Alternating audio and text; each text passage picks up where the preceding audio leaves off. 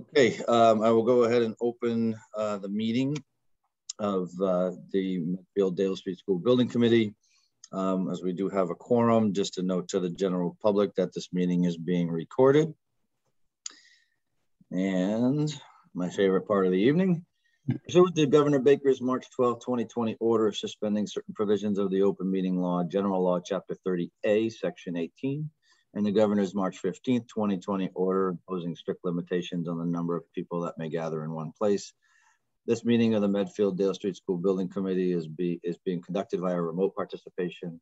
No in-person attendance of members of the public will be permitted, but every effort will be made to ensure that the public can adequately uh, access the proceedings as provided for in the order. A reminder that persons who would like to listen or view this meeting while in progress may do so by following the instructions on the agenda and meeting notice. And just to note also that that, while not stated there, that that was extended through April of next year by the governor earlier. Okay, uh, one last pass through the waiting room. Looks like Anna Mae is here, so with her.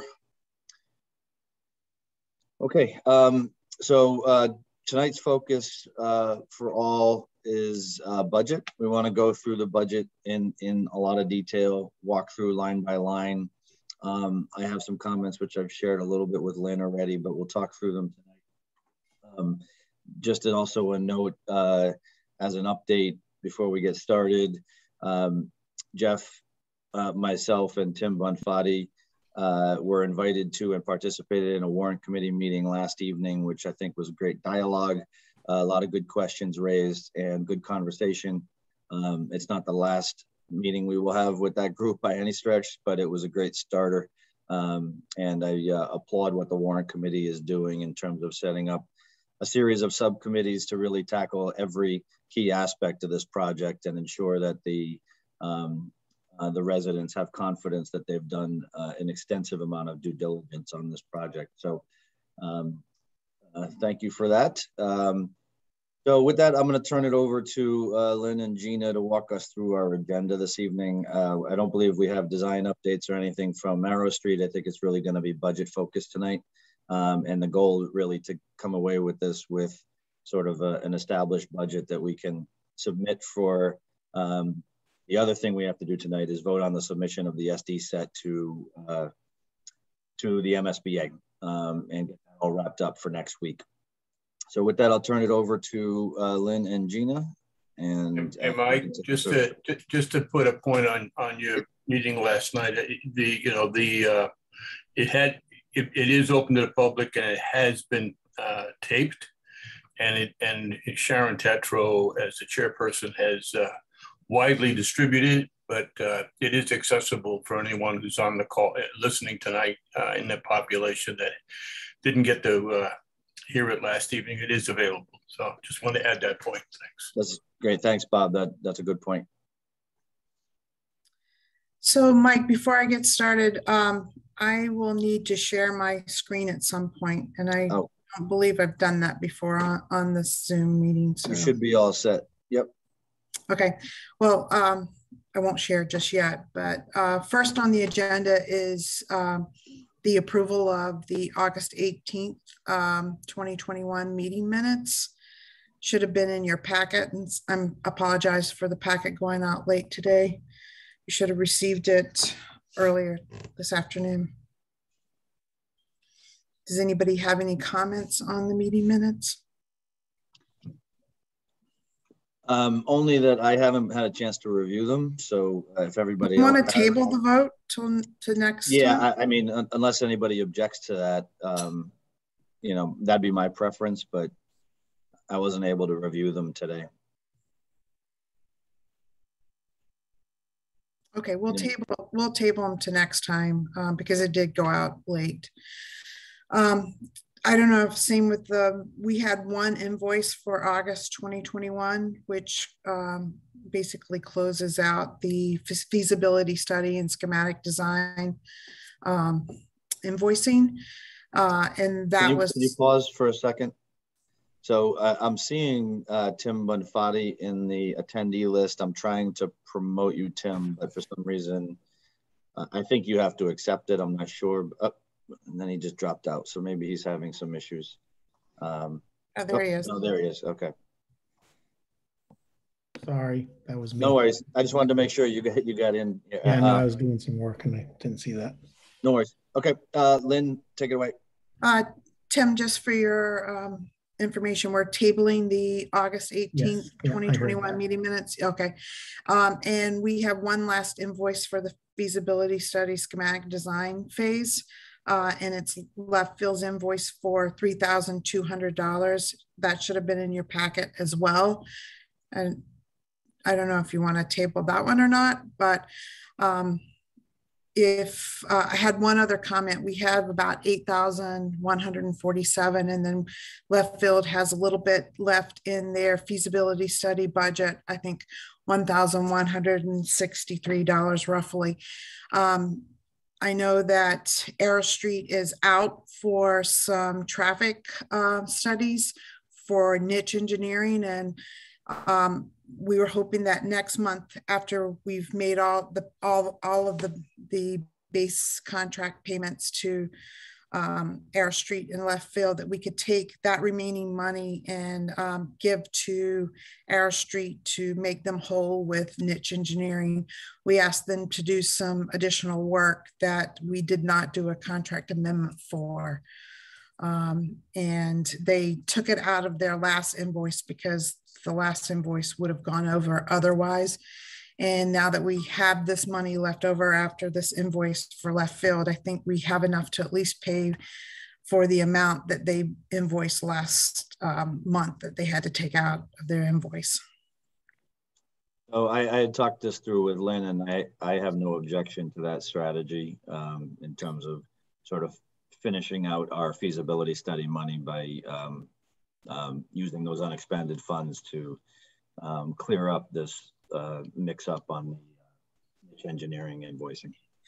Yeah, and if we left it in the feasibility study and schematic design phase, MSBA would make it ineligible, whereas it's currently eligible. So we might as well use it for money that we actually spent. So if everybody's okay, they'll be with that. We'll have one more invoice next month. Um, and with that, I don't know if you want to vote to approve left field's invoice for 3,200 or not. I have no objection to uh, moving the invoice um, forward. If anyone else disagrees and wants to table it, that's fine. No, I think we should approve it. Is that a motion, Mike? Yeah, motion to approve it. Uh, we have a motion to approve from Mike Weber. Do I have a second? Second, Anna Mae. Second from Anna Mae. Running down the list, um, Jeff Marsden, Yes. uh, Paul Kincaid. Mike Marcucci, Yes. Tom Erb, Yes. Mike Weber, Yes, Tim Bonfatti, Yes. Anna Mae O'Sheabrook, Yes. and Mike Quinlan also votes yes. Motion carries. Okay, thank you. Uh, this will allow us to work with Arrow Street to, to at least uh, get some more money toward them, to them for the additional traffic engineering work. Um, okay, so this brings us to um, review of the final project budget, and I'm going to try to share my screen.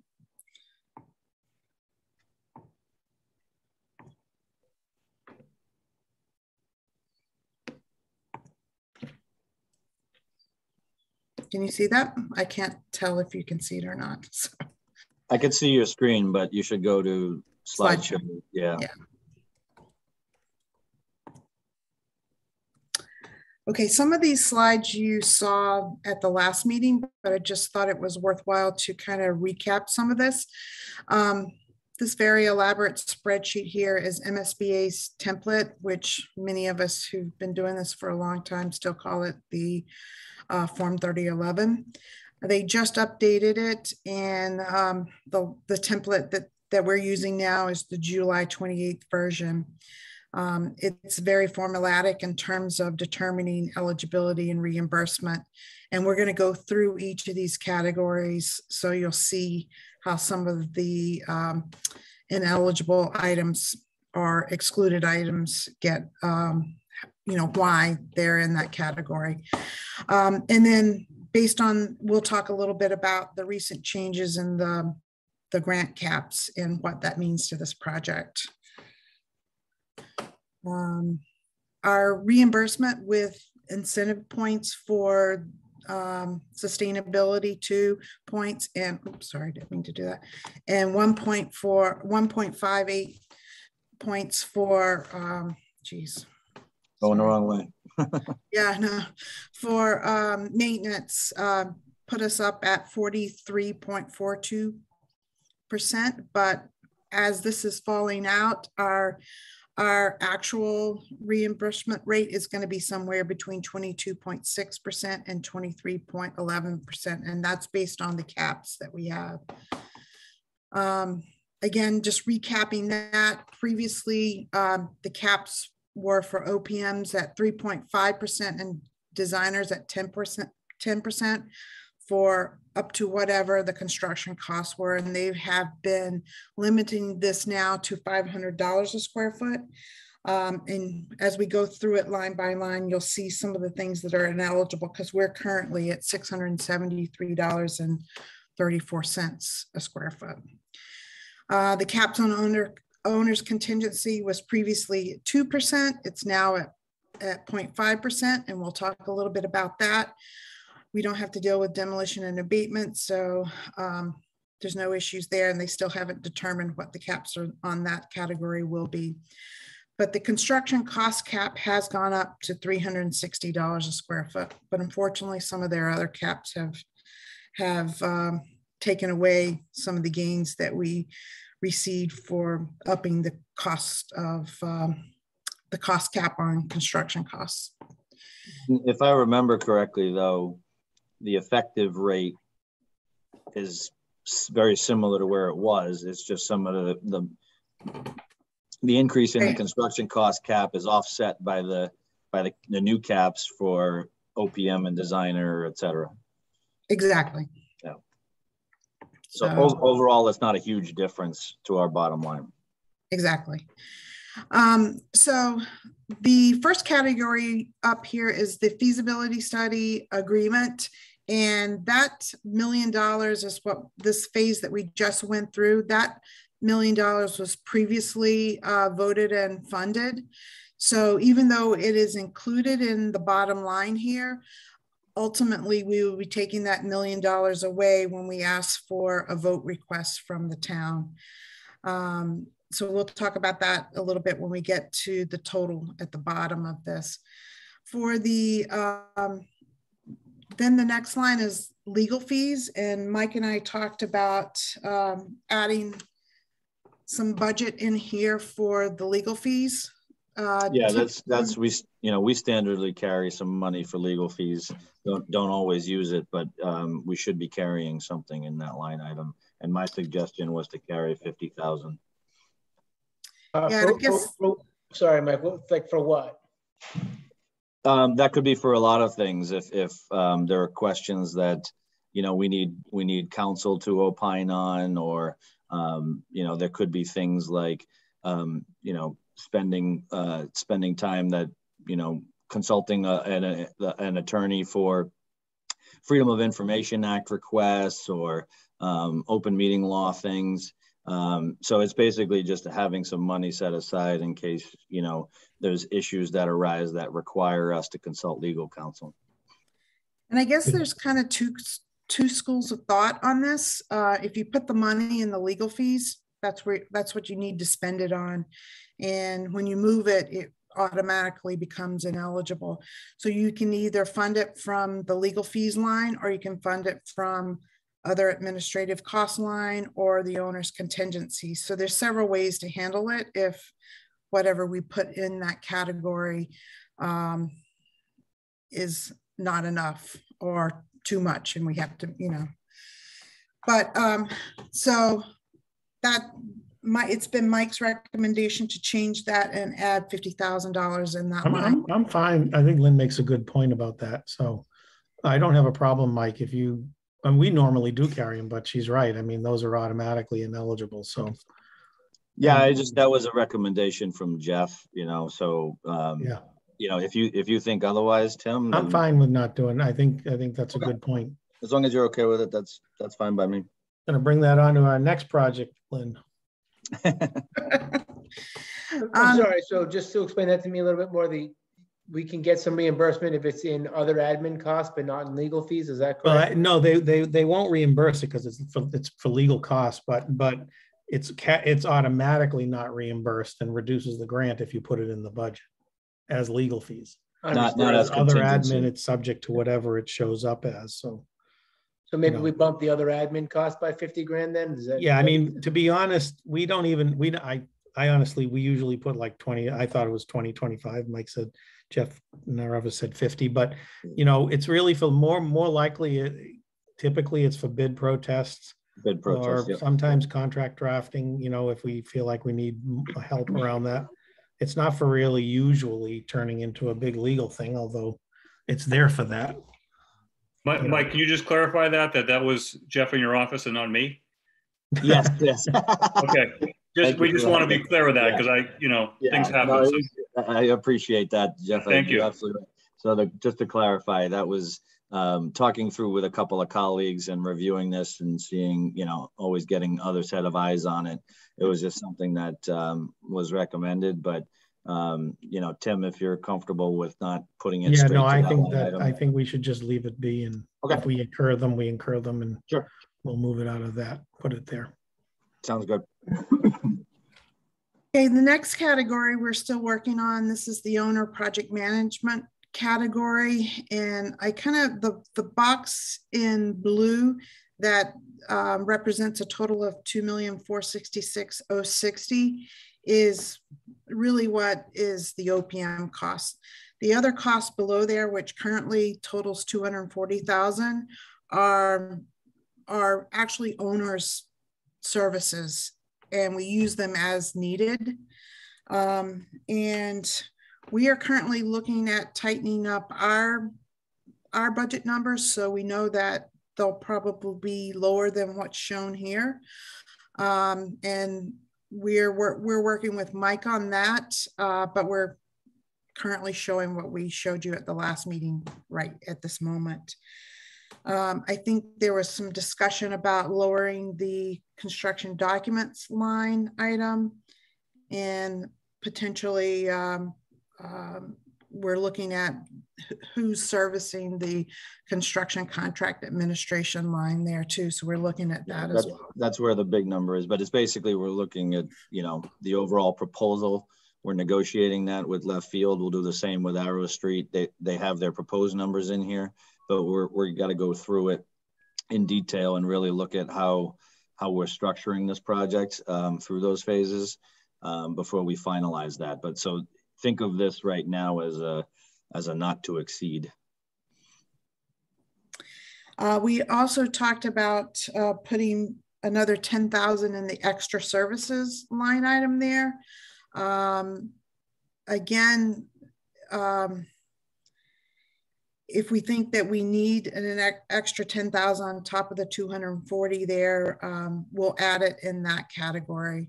But that was a comment that Mike had made The- as well. The, the one thing, and I mean, we talked a little bit, Lynn, about, about permitting and whether we put some money in there.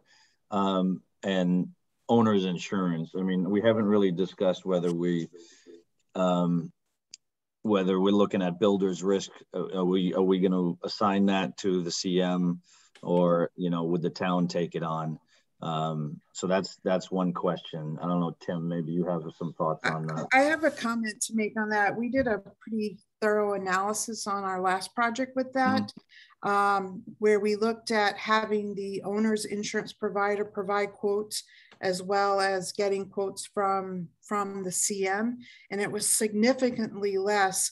And I think that the only time I usually put money in this owner's insurance uh, line is when it's an ad reno and the owner has to carry builder's risk because they own the building.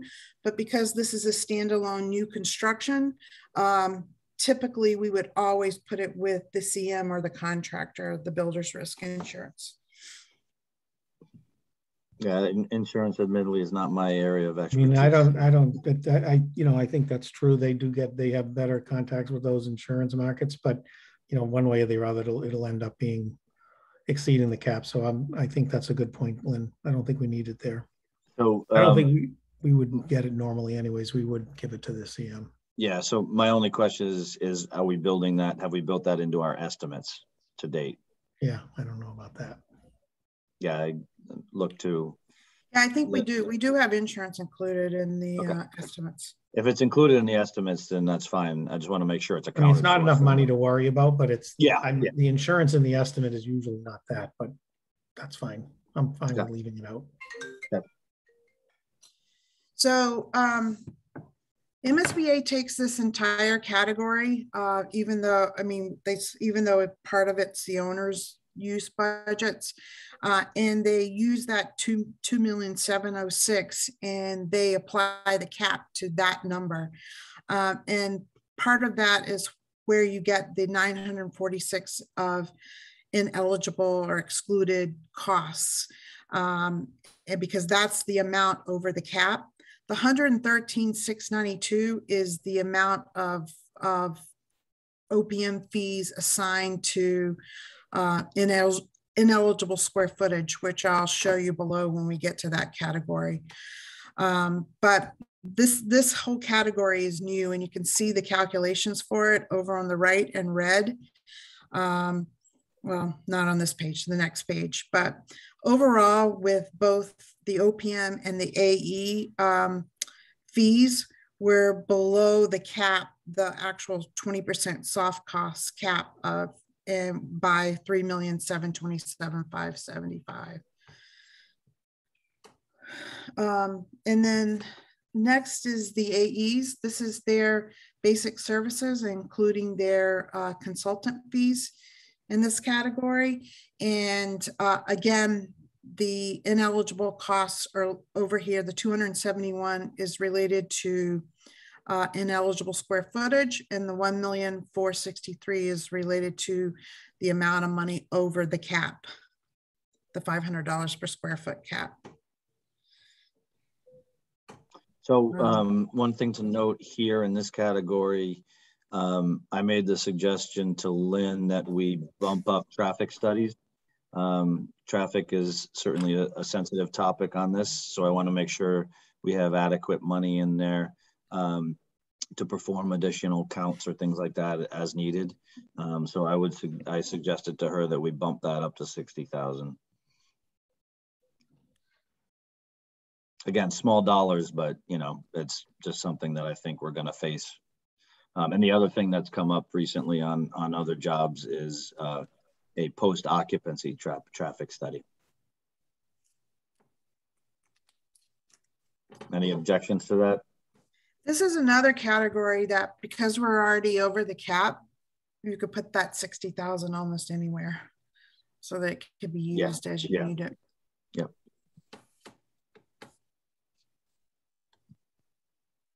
Okay, not not hearing any objections, so Okay, Keep going. on. Okay. Um, the next category is uh, construction costs, which I think we've pretty much gone over um, um, in depth in terms of the construction cost. And this is the cost that we're carrying, the sixty-four million, five twenty-five, one ninety. And if you look to the right,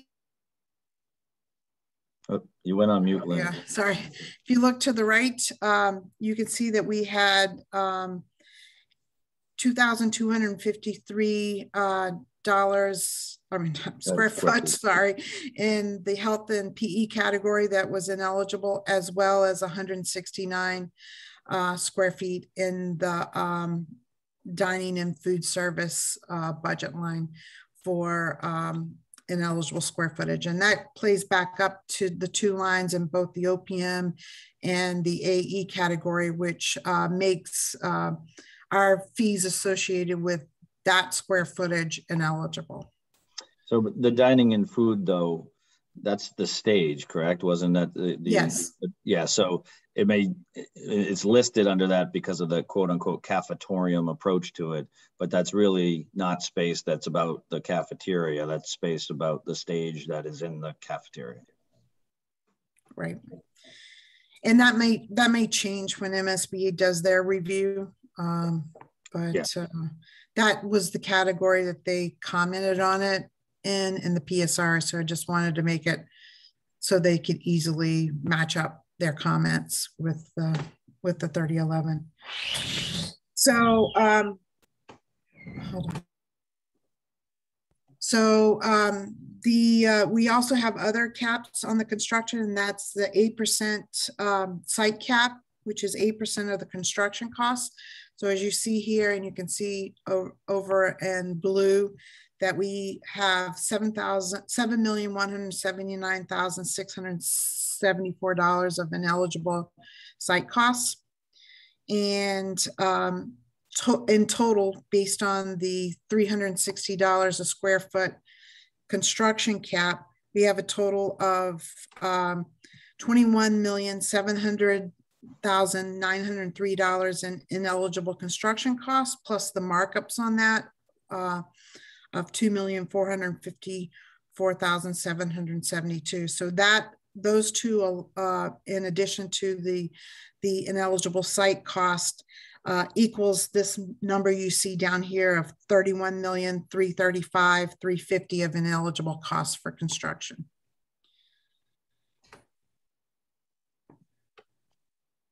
Um, before I move on, was there any questions on that? I think it's pretty straightforward.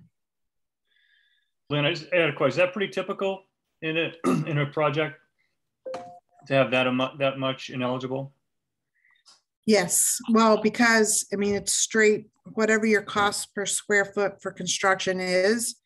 Um, in our case, we have three hundred and thirteen dollars and thirty four cents that is a hundred percent payable by, by the town because that's the difference between our co- uh, cost of construction per square foot and MSBA's cap at 360 a square foot. So, So, Jeff, if you remember early on, you know, I think we made it pretty clear that we were going to exceed the construction cost cap because it's impossible to build a building for that. Um, and we were going to exceed the site cost cap because inevitably that that happens. Um, you know, there really is no projects that can get down to the absolute minimum and not exceed the caps. Uh, and so we we just want to make sure that we're not, you know, exceeding them astronomically.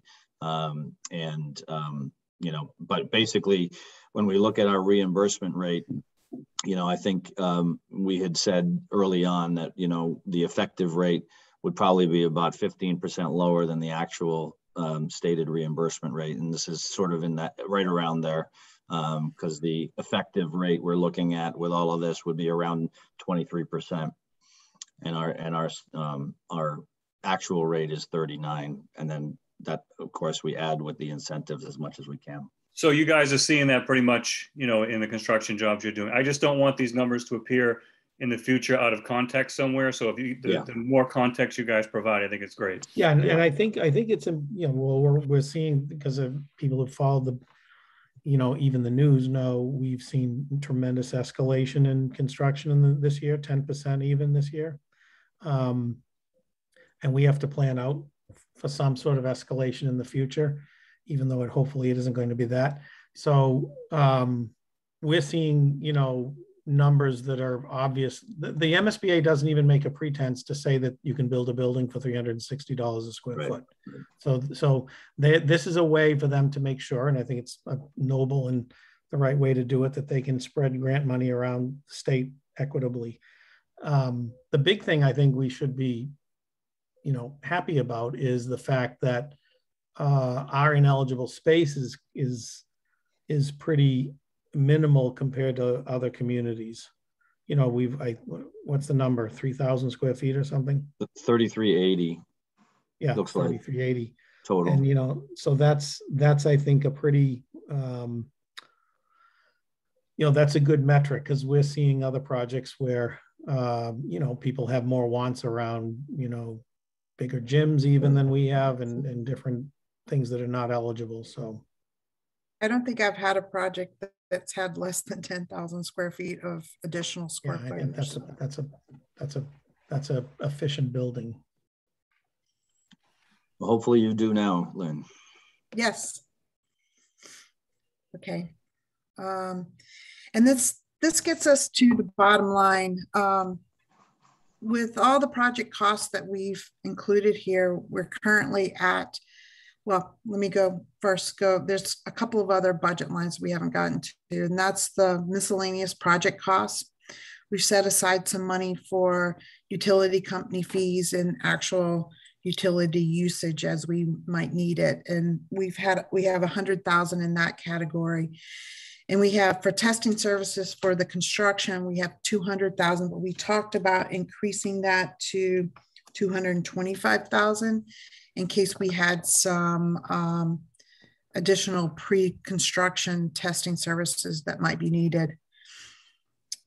And uh, we have 150,000 there under other project costs, which um, predominantly is for moving services, moving from one building to the next, but it also can cover any other miscellaneous costs as well. That cat, that whole category there, um, except for testing services, is generally generally ineligible. Sometimes we can get the utility company fees uh, made eligible. So, so for right now, we definitely know that the the other project costs, the moving and other expenses is ineligible. So we've counted that as an ineligible. But we may see when MSBA comes back to us that some of our utility company fee costs will become ineligible as well. Um, but um, that's where we stand in that category. We're going to try to bump bump up testing services a little bit.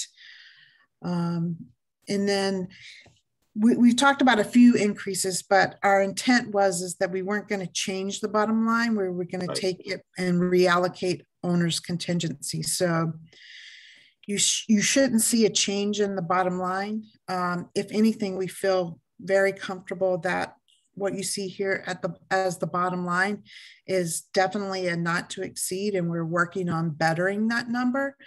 But um, but as I said, we we feel very comfortable that the project will definitely not exceed that number. So one thing, Lynn, um, uh, that we chatted about, um, I think the FF&E number is low.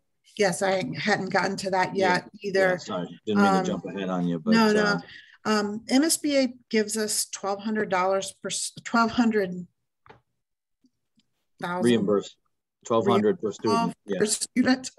Couldn't get the words out. Um, and um, that's typically okay, maybe a little more for technology, but definitely FF&E. We talked right now, it's currently at 1600 per student at the 920, but we talked about increasing that to 1800 per student um, as that's more of an average cost per student. So we will increase increase that number as well. Um, but it, we do think that technology can definitely be done for the 1600 per student that we sh we've shown here and maybe even less. Um, that so, category is in interchangeable, so you can move money around in that whole FF&E budgeting and technology category. So when I when I discussed this with Lynn earlier, um, I, I feel like the owner's contingency at 2% seems high to me. So, you know, in my mind, that increase for FF&E would lower the owner's contingency, not, and so again, result in a, you know, not, not um, increasing the bottom line number. Just reallocating costs. Yeah. Um, so again, I mean, without contingencies, we're at 77 million, 376, 900 with total exclusions of 34 million 739 597 um, and um, with the contingencies that gets us up to this 81 million 893 663 that we've been presenting uh, last time and this time um, again we think it's going to be less than that and we already know that 1 million of that has already been uh, voted on, approved, and appropriated. So we're down to 80 million, 893, 633. Um, again, uh, we we think that this the town shares somewhere approximately at 63 million. Um, and then looking at some of the other changes that we're looking at, we're hoping to get that down um, even more. So um, that's the full budget in a nutshell. And I think we'll come back to um, come back to this number at the end. It's uh, uh, I have another slide that may be easier to look at and read. We did a, a quick cost comparison to other districts. Um, and this is probably when we send this, this presentation out to you, it's probably easier for you to take a look at it on your own and kind of digest it. But these are some of our projects and some of Compass's projects and a few other OPM's projects interspersed in there, but um, they're all within the schematic design or construction phase or just beginning to open this fall. So it'll give you a good idea of what other districts are doing. And Yeah, and just, and also just, sorry to interrupt, but uh, go back to that one. One thing just to keep in mind is that some of these are middle schools, so there's a little bit of a different uh, um, comparison there. Um, They're not all elementary schools, so just and, that and some of them have different timeframes, uh, Yeah. which I started, there's a couple of lines in here where I started to look, looking at the time frame of feasibility study and schematic design phase, and some of the construction timeframes are shorter, or longer. Um, so all those affect costs, but this is like a good, good tool to look at in terms of comparing yourself to other districts. This And- is really and helpful. yeah, some of these, some of these schools, you know, probably uh, got it, got their budget set before the market went crazy too. So there's a lot of factors Yeah. at play, the differences in these, in these Yeah. uh, various budgets, mean, but Hildreth, Hildreth obviously just opened, so it's gonna be a very different cost than, you know, a project that hasn't started construction or won't start construction for another year. yeah. But it's a good comparison and, and something you'll have to, to kind of um, take a look at. Um, and then this was just a quick map at all the schools that are happening in and around Medfield um, that are, Some of Yeah. which are complete, but some are still ongoing, like um, Millis was completed, you know. Framingham um, was complete. Framingham was completed.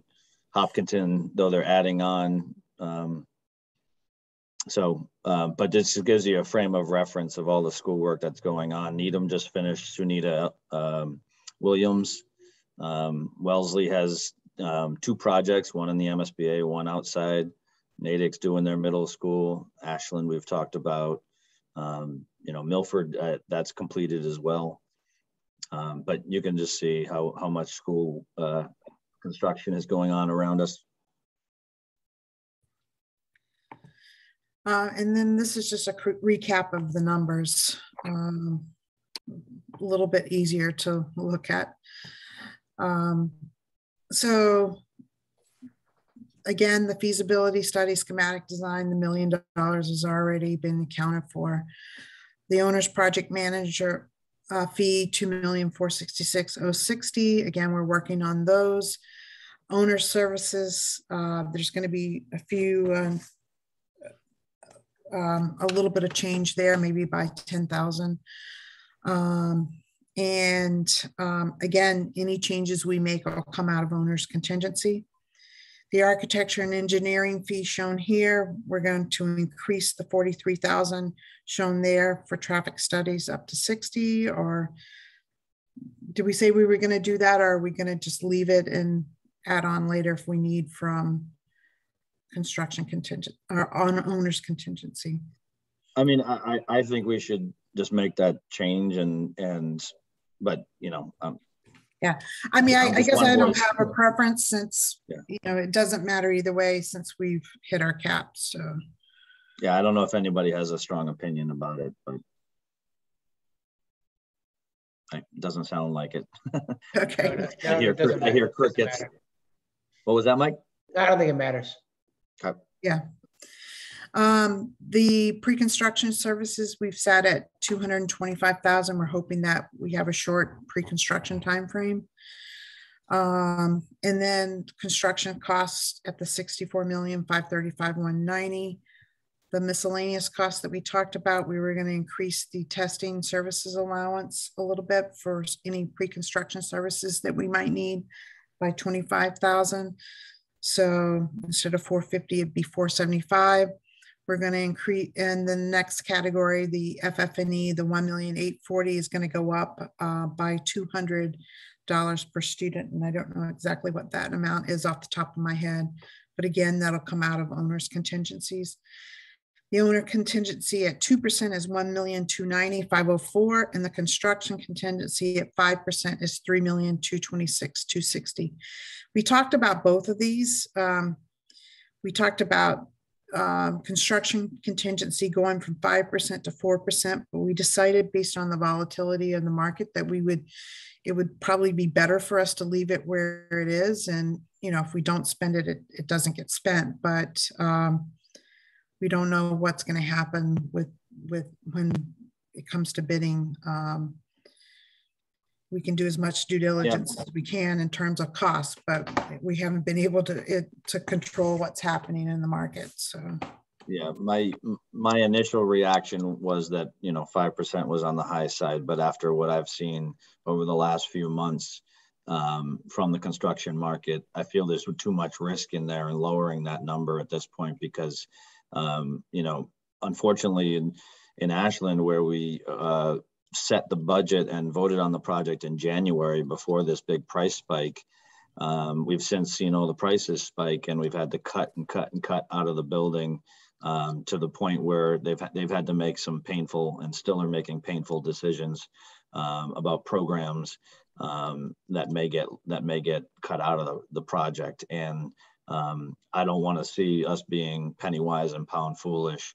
Um, to me, which is you know, say you know the difference of half a million or a million bucks is in my mind um, not the right move at this stage, given where the market is. But that's, uh, again, just one person's opinion.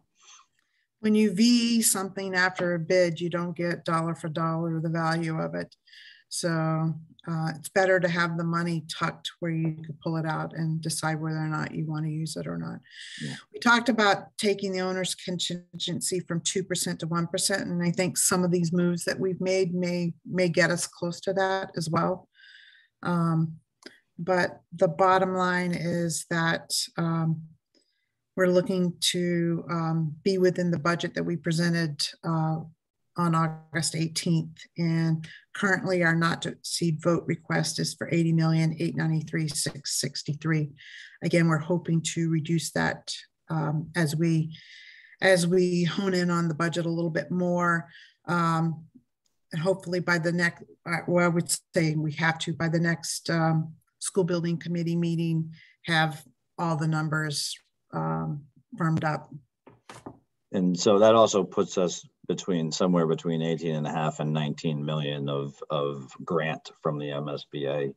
Um, so I think given where we stand, you know, I, I think the team's done a good job trying to maximize that number.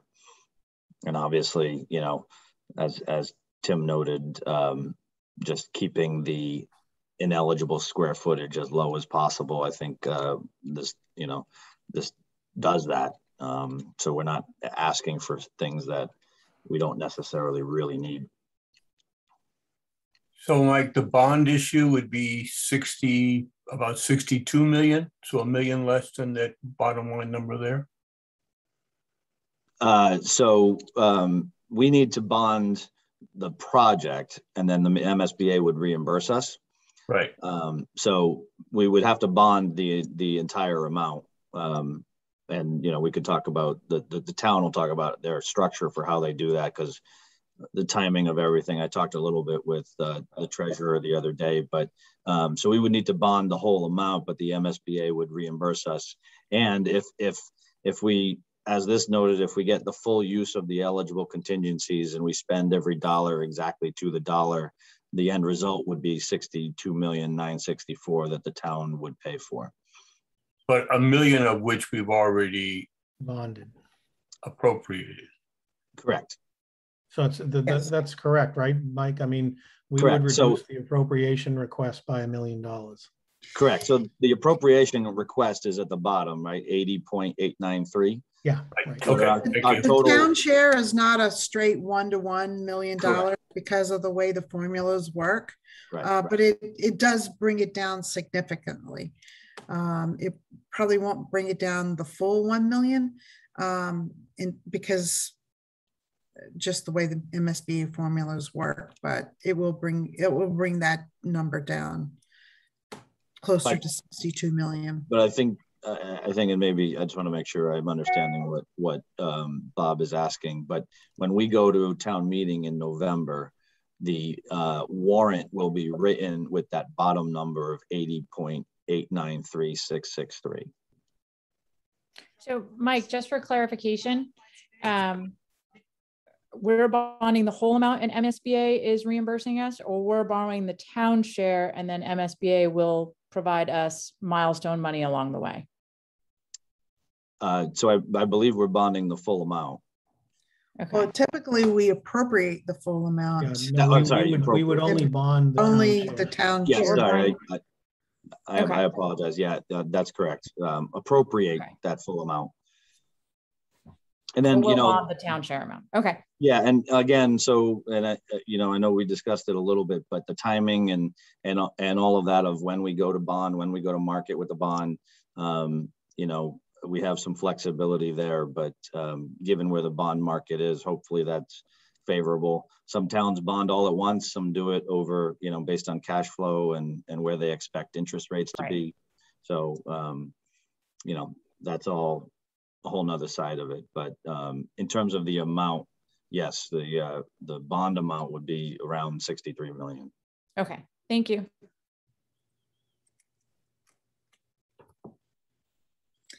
And that's all the slides I have. I don't know if anybody has any questions on one in particular or, or. the Lynn, can you go, can you go back to the slide with all the other towns? Do you mind? And all the other schools? The map or the cost? It was, no, the cost. I don't care about the map. So is there a um reimbursable, like, is there a um, is there a column here that tells us how much the state's reimbursing all these other towns as well? Or is that not public knowledge? It's not No, on here, There, but but I could, I could add that probably. yeah, it's, that's gonna vary pretty widely. Um, Yeah, no, I'm just, con- I'm just, you know, the construction costs for the most recent jobs are very similar to, you know, to what we're looking at, you know, when you kind of do per student. Yeah, I mean, the, the cost per student is, is, is a, is an easier way to, you know, look at com- comparison.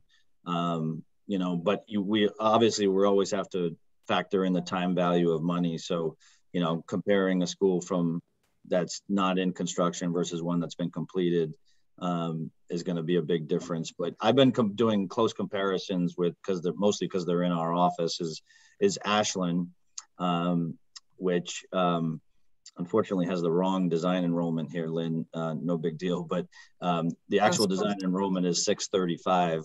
So 60 more kids than us. They're a year ahead of us um, and um, a slightly larger building.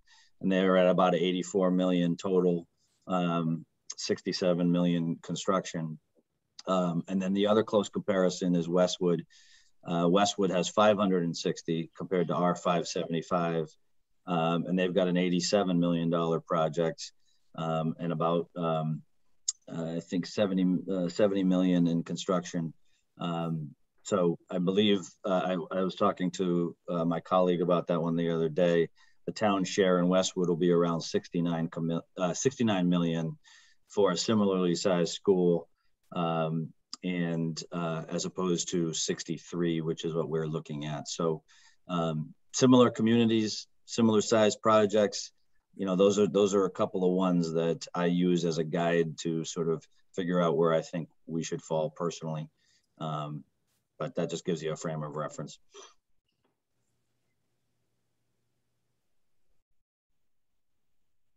Any other questions from the Not sure, but Leo just got into the audience. Oh, thank you, Tim, for monitoring that.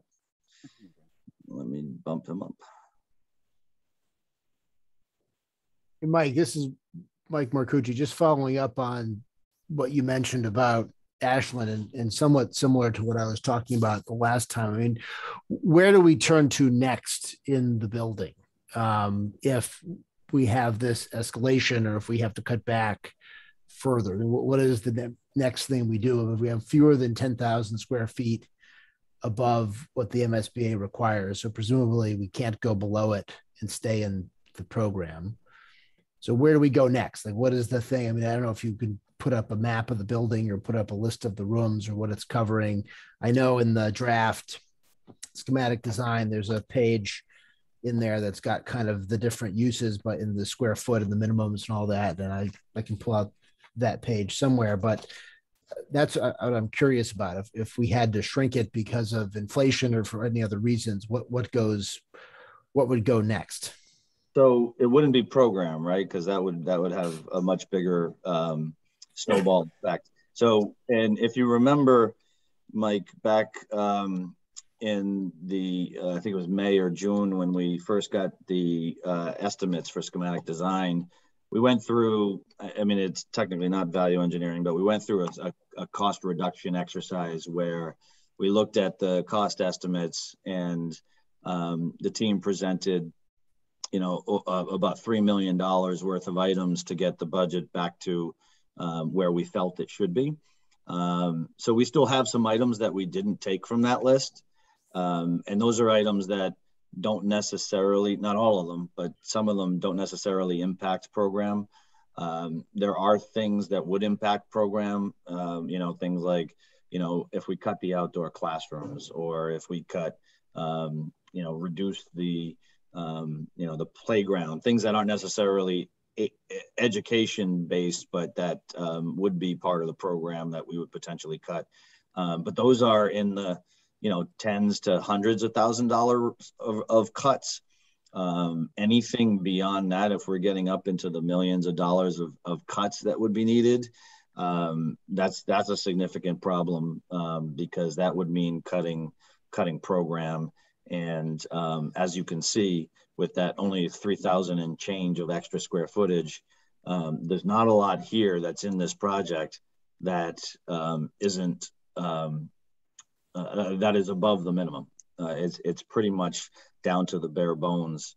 Um, I think so. you would hit categories like the the extra field. You might take that away, or you might have to make some hard decisions on geo. You know your your geothermal or yeah i mean the only thing those would be like if we took the field away that that would be a million and change. Um, if we looked at the the geothermal and, and the net zero goal and went to more of a, a standard um, system but there's there's snowball effects with that even in terms of um, you know incentives that that we that we're geared up for receiving down the line.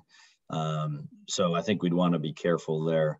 Um, but to, in, in my mind, um, you know, this is a pretty conservative budget for the type of project it is. Um, it's not something that's extra liberal. Liberal. There's not a, there's not, in my mind, there's no fluff in here that can just easily be taken out and is is um, something that nobody will miss.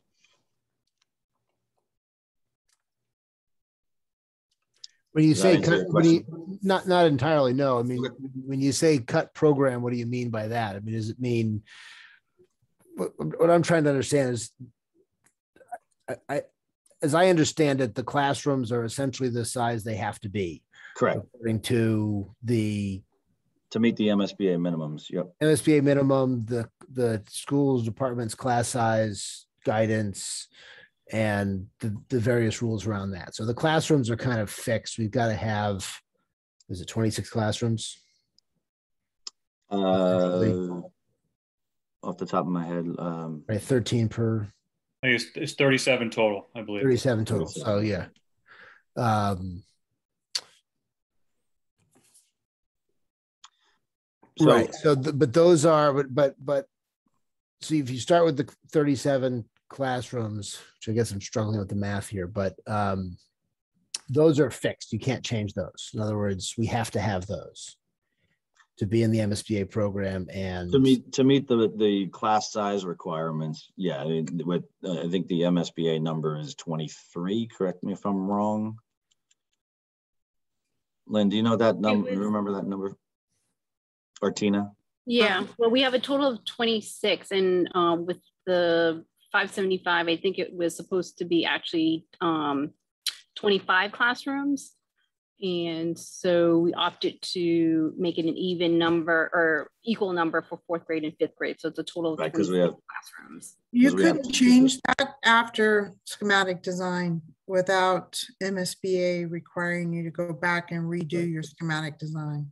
Right, and that, that's what I'm trying to, to get at here. So the, the, the classrooms are fixed, right? We, that's basically have to have twenty-six classrooms and they have to be the size they are on there. And Correct. so what I'm wondering again, because as I understand it, if this is approved at town meeting, we can't exceed that appropriation. So if there's continued escalation in inflation and we have to cut more than the playground and the field and the outdoor classrooms, um, That's what contingency is for uh, as well. Like, and, and that's why, you know, I, I don't, I I would, uh, I'd be hesitant to use too much of it before we actually started putting shovels in the ground. But the reason why um, I would recommend not going to the four percent, which was my initial reaction on the construction contingency, is is largely due to where the market volatility has been. Um, and I think it's it's short-sighted to cut maybe, you know, six or eight hundred thousand dollars out of the construction contingency when we might see this trend of um, construction prices uh, continue to rise.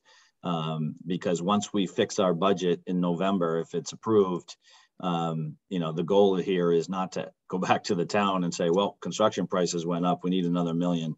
So um, I'd, I'd much rather be conservative on the contingency side here and uh, be able to deal with some of those price spikes without having to go back to the town.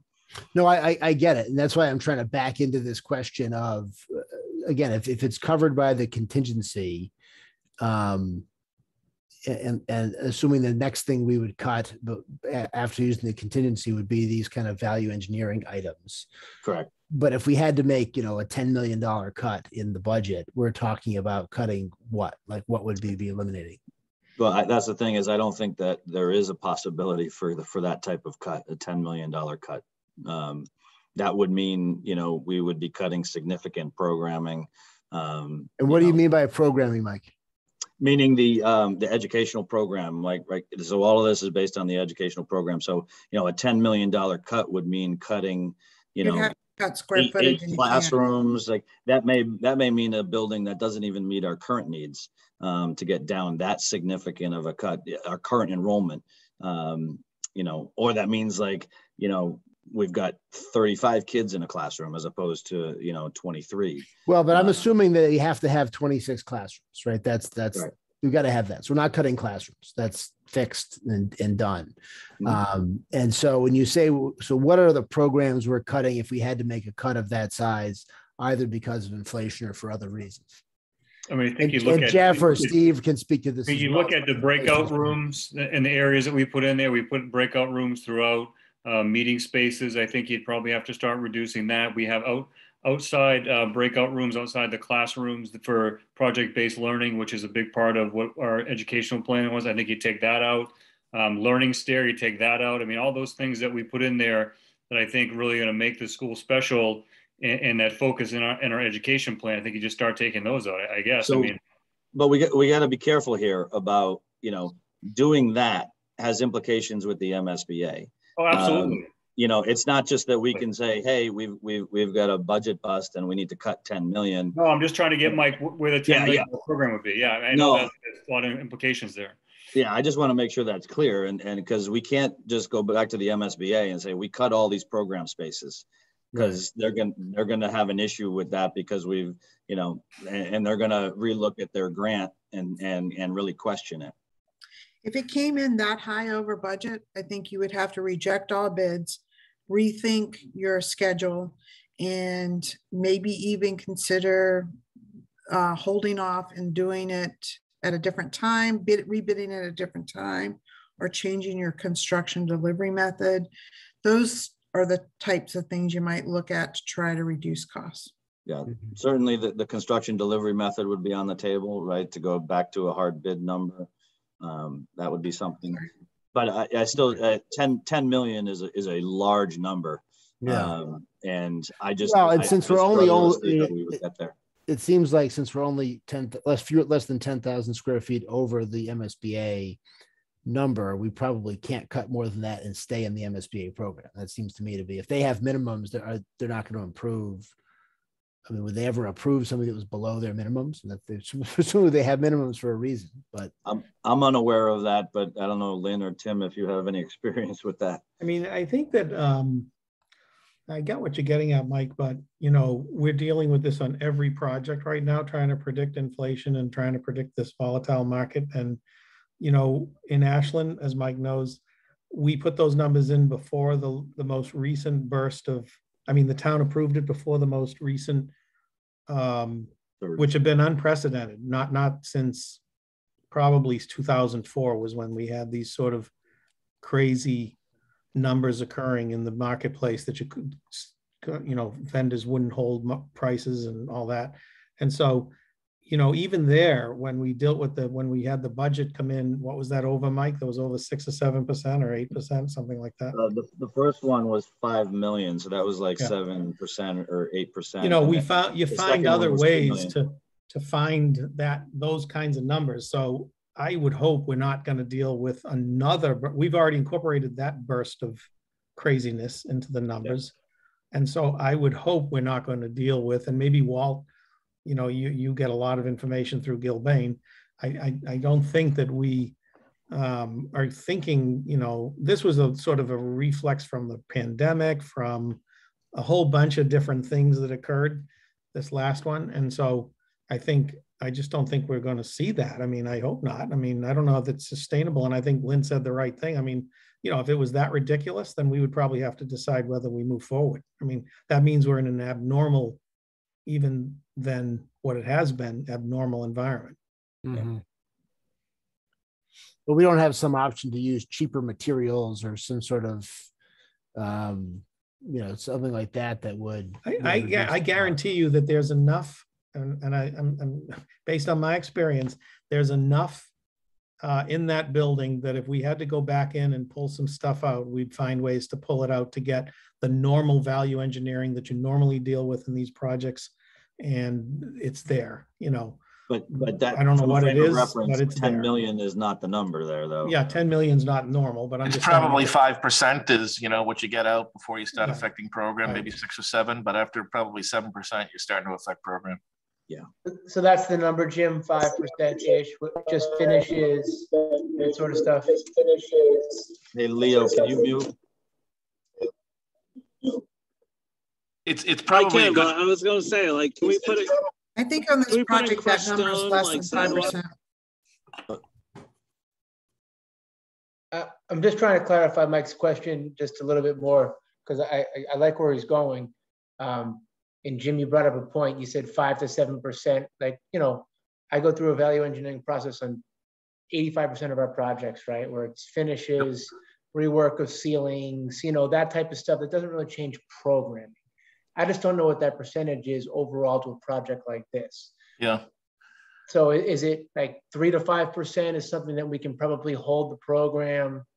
You know, maybe, you know what I mean? And, you know, obviously we're giving things up when we do that, but I'm just. I think so. I mean, Walt and I just went through the, you know, some of the difficulties that, you know, Mike and Tim and Lynn are talking about. We just went through at a project in Brookline that was a ninety-six million dollar construction project, had six million of overrun and in six weeks, we were able to take out that six million and it was looking at um, the envelope and, you know, the usual, you know, looking at storefront uh, versus curtain wall, looking at the building systems, you know, everything we could do to um, value engineer the building, still keep quality, and as you know, Mike said a few times, not affect program, and that's the challenge. Yeah, but your, Um, your big takeout was geothermal, right? Uh, that was actually below the line. That was already out, but there, Yeah, that was below the line. So, Oh, um, so and we, just as a and we, and we went into contingency a little bit. So yeah, we rebid and we went into contingency a little bit.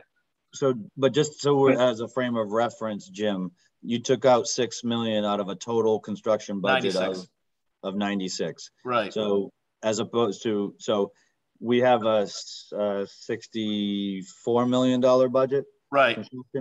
Construction. But back to Um, Mike's question, that was I was trying to, you know, uh, talk about it, that's in the five to six percent range. Yeah. Right. Okay, Yeah. thank you, yep. Yep. But to Lynn's point, this the school in Brookline had more to take out of it than ours. Yeah, it, it was a, it was does. A say higher, five is higher like end a- design building, so there was Yeah, more they five were is rid a, of is too. a, Yep. is a cap number, I would say, for Wheelock for sure. For the new All right. elementary. That, that's helpful. Um, thank you.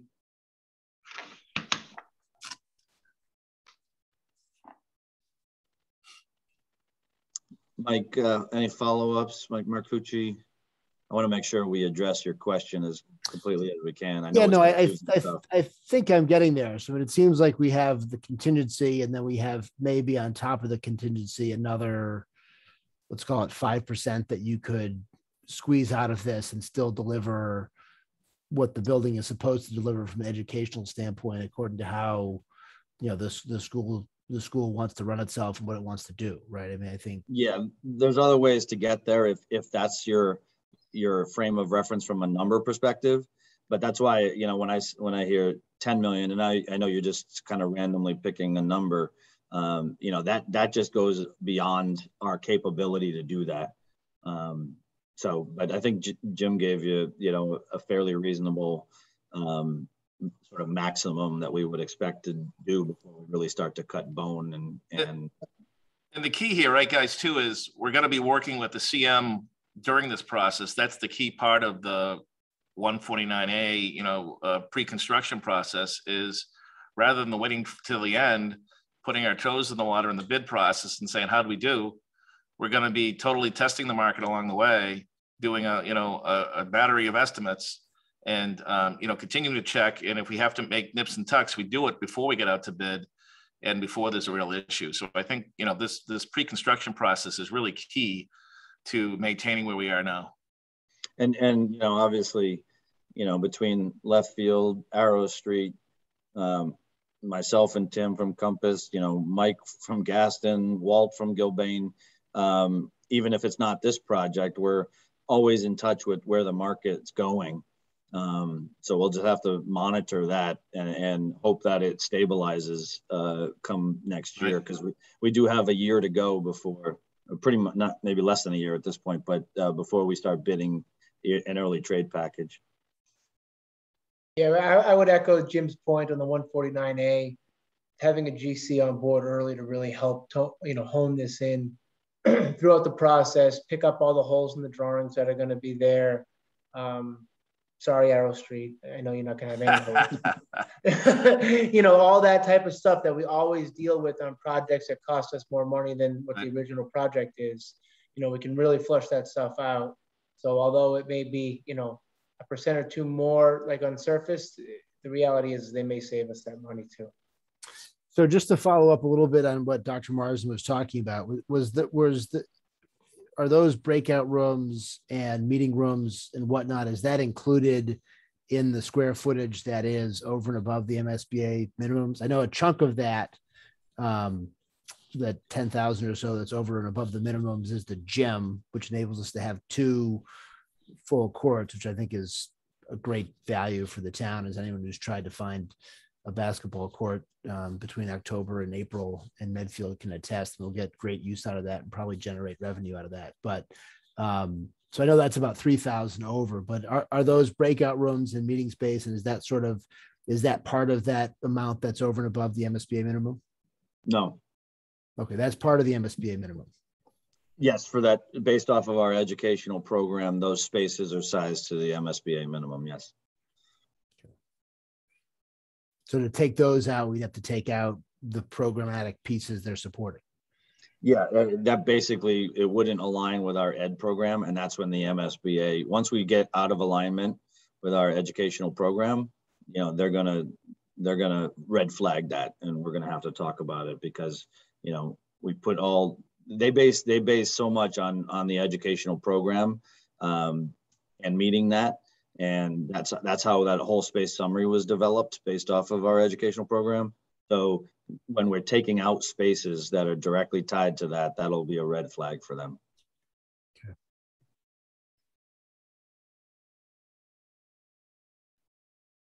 And in- incidentally, like, you know, sometimes there's things like just cutting one or two classrooms that you're not really saving, you know, when you, when you factor in you know, the inefficiencies of, of having to, you know, rework the building and, and it's not always, um, you know, a simple, say, just multiply the square footage times the, the cost per square foot. Like there's, because some certain systems are sized that, you know, cutting square footage won't necessarily decrease the size of a system or something like that. So um, it can get pretty complicated, but um, not to belabor the topic.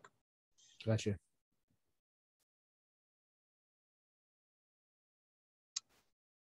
Anyone else have thoughts or questions?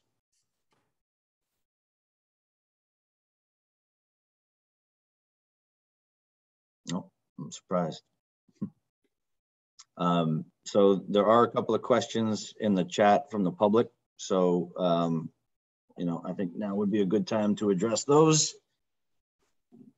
So uh, first up, uh, Tom Powers asks, can you direct taxpayers to comparable towns of about 13,000 Wikipedia population paying 41 million per grade for an elementary school?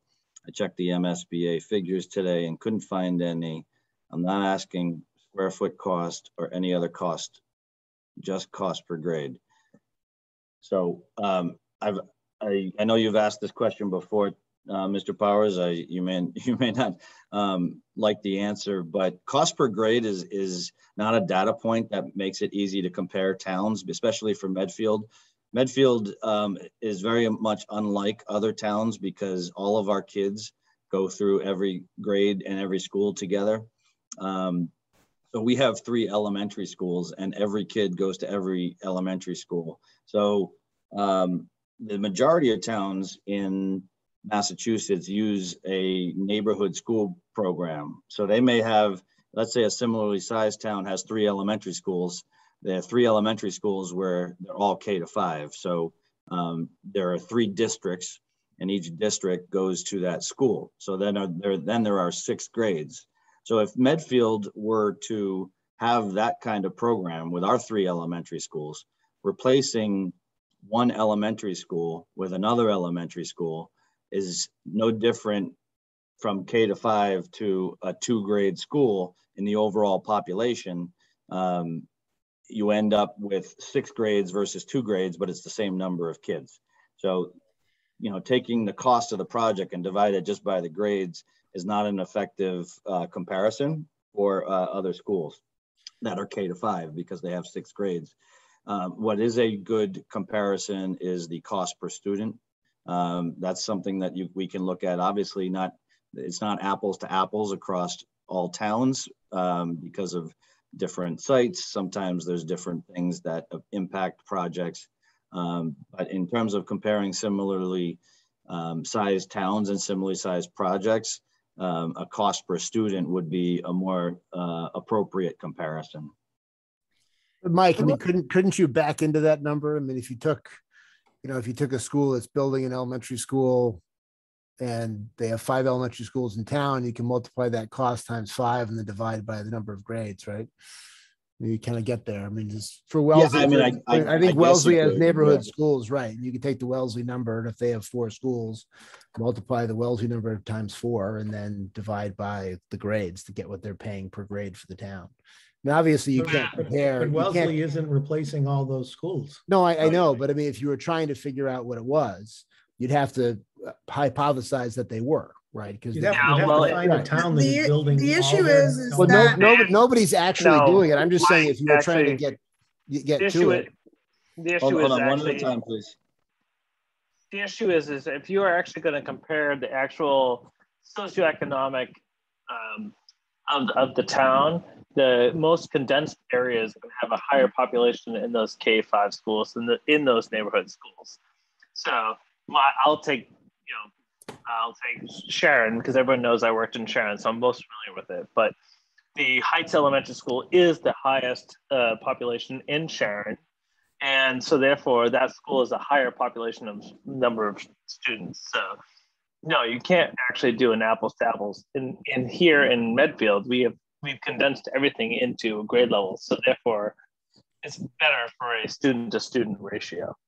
No, no, I, I, get- I get it, Leo. I'm not saying that it's, it's the best comparison. I'm just saying you could, you could figure it out. I'm not sure it would tell you anything useful, but you could figure it out. I mean, it's, it's. I, I don't it's know just that, I don't Not know doing what it the exact same. I don't know that it tells you anything useful either, but you could back into that number. I think what skews it is that this school only has two grades, but they still have to provide a gym, a cafeteria, um, all these spaces that schools that may have three or four grades per school, they provide they provide those same spaces for four or five grades versus us providing the same spaces for only two grades. I mean, and this is the Medfield is the only school that I know of that's just two grades. Yeah, no, there's no, there's no question there's an inefficiency by having three schools across this setup.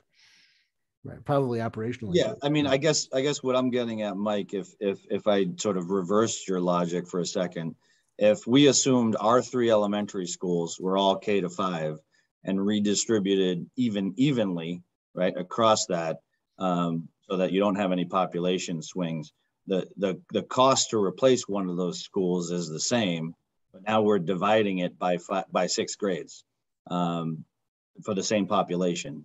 Do you see what I'm getting at? That's why, you know, to me, the, the best, the best way to compare would be to look at a cost per student, because if we're looking at a cost per student from Medfield, um, and we look at, you know, say Westwood, which is a K to five, but has five hundred and sixty kids, and we look at their cost per student, um, you know, to me, that's at least close enough relevancy to uh, do a good comparison to see where those two uh, are similar or different.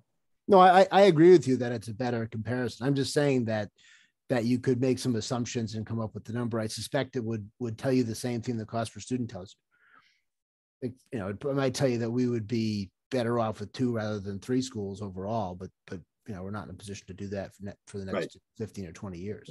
Should should we go back to a three, um, three grade model here? Is that what you want? And talk about that again? It would be more efficient. We tried. I'll second that motion. No kidding. Okay, uh, next up, uh, Chris McHugh Potts. Uh, the cost comparison chart would include cost per square foot. Am I missing a line? Uh, no, I don't think we've done that analysis yet. And, and uh, quite honestly, there's some square footages there that are, I know with Ashland at least, that are inaccurate. So uh, that chart will need to be updated. Um, but there is not a line in that chat chart currently on cost per square foot. Uh, next question from Chris is 900 square feet truly the minimum classroom size per MSBA? The statutes seem to allow for less. Um, and um, uh, uh, the um, by statute, um, Can I 960 answer that? Yeah, go ahead, Emily. I, I was Yeah, just I was just reading your text. I'm trying you to answer and make it easier. My apologies. Yeah, if you look at 963 CMR 2.06, item seven, table four, uh, it states space al- allowance by program activity. So the approved design and educational program and project scope and budget agreement shall be within the limitations at set, as set forth in the following table. Uh, and we are in elementary school. So if you look at the line for elementary school core classrooms for grades one through eight, the minimum is 900 net square feet. The maximum is 1,000 net square feet. And just to follow this through, net square feet is measured from inside wall to inside wall. In my experience, the MSBA will not allow the project to continue until you meet that minimum threshold with the net square feet. And that's after SD, after DD, when you start to work through all of the systems that go through that. So it, it is a very clear statute. Yeah, Thanks, we, we, we already had to have a call with them to talk about cubbies inside the room and outside the room and what that qualifies for in terms of square footage. Um, so they were pretty adamant on that one. All right, um, also from Chris McHugh per Mike Marcucci's comments, concerns about MSBA not following through with its grant if project elements are cut. Public records show it's never happened. MSBA bends over backwards to work with districts. Um, I'm not going to speculate about what the MSBA would or wouldn't do. Um, what I what I have said is that um, if we are cutting educational program out of this, um, they will reevaluate that. That will be a red flag, and they will reevaluate their grant. Um, I, I have. To, we will have to redo this process again to if we're going to change the right. schematic design. Right. So I I have never been part of a project where they we have gone below minimums or where um, you know, we haven't met the educational program that's been agreed to. So um, that would be up to the MSBA, and I certainly won't speak for them. I was involved in a project where we just flipped the building, um, and MSBA made us resubmit our schematic design. So it has happened, not never happened, right? Yeah. Okay.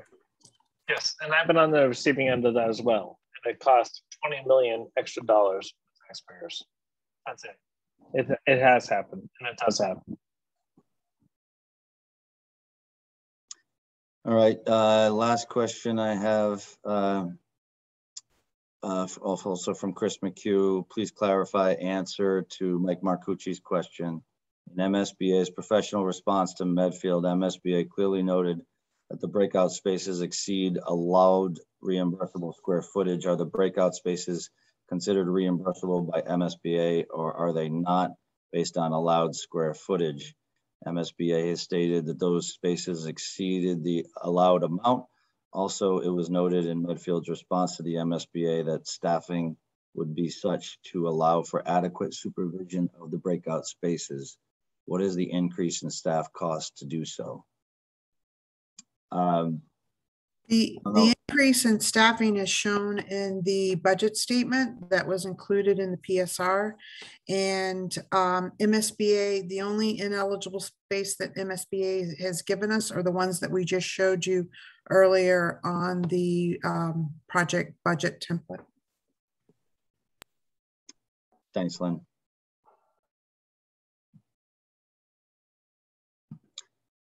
All right, so um, any other questions on the budget? Otherwise, I think, um, you know, we, we should um, move to finalize this um, based on the adjustments we've discussed here tonight, but overall the bottom line number wouldn't change.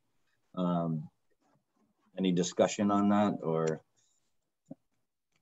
would anyone like to make a motion on that? We're asking basically to submit um, the budget that we've shown here as a not to exceed budget in the schematic design documents and to submit the schematic design submission to MSBA on September 8th. You want to do that as those as separate or as one vote, Lynn? I think it could, I think it, all we need to do is um, vote to submit the schematic design submission so, yeah, so if, if we're voting on the SD submission, is there anything else that anyone had any comments on on the SD submission before we take a vote on it? We've talked about the budget, obviously, but um, I know we had some comments at our last meeting. Um, Want to make sure everybody's questions have been addressed. Yeah, I think we wouldn't vote the, the project budget until we have a final, a final one, just, you know, with all the revisions made. Sure. So that could be voted on later. Okay. So any questions, I guess, going back to the SD submission? Any questions, comments, or concerns about um, approving um, left field to submit that to the MSBA? So this is just on the schematic design, not the actual final budget. So it would be a not to exceed budget. So any final budget would be less if or or equal to. We, we would ask you to vote on that later once we've made all the revisions that are needed. Yeah. Or we would cover those costs ourselves, right? I mean, if we decided to add a field or something else, that would be completely on us without the actual in, including in the project. Well, if it's a field, regardless, it's going to be entirely on us at this point. But um, yeah, no, I'm just saying, like, if there's something else included in the project, yeah yeah, unless you know you're throwing a monkey wrench, and that could get pretty complicated. Adding something. No monkey wrenches. No, I'm stage. just saying. Well, I mean, anything else that we decide to add to the project, whether it's a drive up wireless uh, charging spaces. Yeah, so things like that, um, when we get into the next phase of design, um, would come out of, um, you know, we have design contingencies that's part of the, the project, and then we have construction and owners contingencies. So if we added something after that, it would have to come out of those contingencies.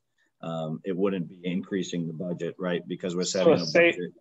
Exactly. So a safe way to st- state this is that we're voting the reimbursable budget. We- We're, we're voting a, right now, a, a not to exceed budget that is, is in, in essence, um, the maximum number that we will ask the town for in November. Does that make sense? Absolutely. Just make, I'm making sure I'm just uh, clear on the Yeah, number. no, I have no, no problem with the question, Leo. Uh, so moved. Uh, I don't think there was a, a motion on the Sorry. table. Put, put it out there, Mike. Put it out there. So I'll, I'll, I'll say, um, I will entertain a motion to authorize, um, left field to submit the schematic design submission, um, as noted in the, uh, final draft, uh, that was distributed earlier this week, um, with the, uh, revisions to the budget that we discussed this evening. So I, I, I have a, just a couple of, I apologize. I, I, this is a fourteen hundred page thing that I printed out okay. here. So I'm trying to get to my, my, my, uh, tags here. So just, just looking light back. reading. Yeah, just, just looking back at the, at this submission, it's on page twenty-six of the, um, schematic design report. It's the breakdown, the, the chart that compares the MSBA guidelines, um, to the PSR, PDP, SD, and then it precedes the space summary narrative and all that. And then, because I was looking at it, and this is just following up on my earlier questions. And so let me know when you're there on, on page, I hope it's the right page 26, because the way this is divided up, there's probably eight different page 26s of the different yeah. appendices and the portions of the, but I think it's of the main schematic design report. It's Emily or one- Tina, is that something you could pull up? I'm actually pulling it up right now. Sorry, it is a large file, so a Yeah, no, it was big. Time. And, and, and I'm, I'm still a, you know, Luddite who likes to have stuff printed out in paper to read. Um,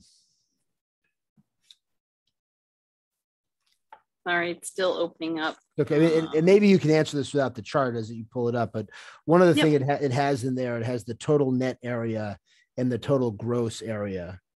And there's a delta of about thirty-three thousand Mhm. square feet. And so what's in that, what's in the, the difference between the gross and the net? What's, what's reflected there?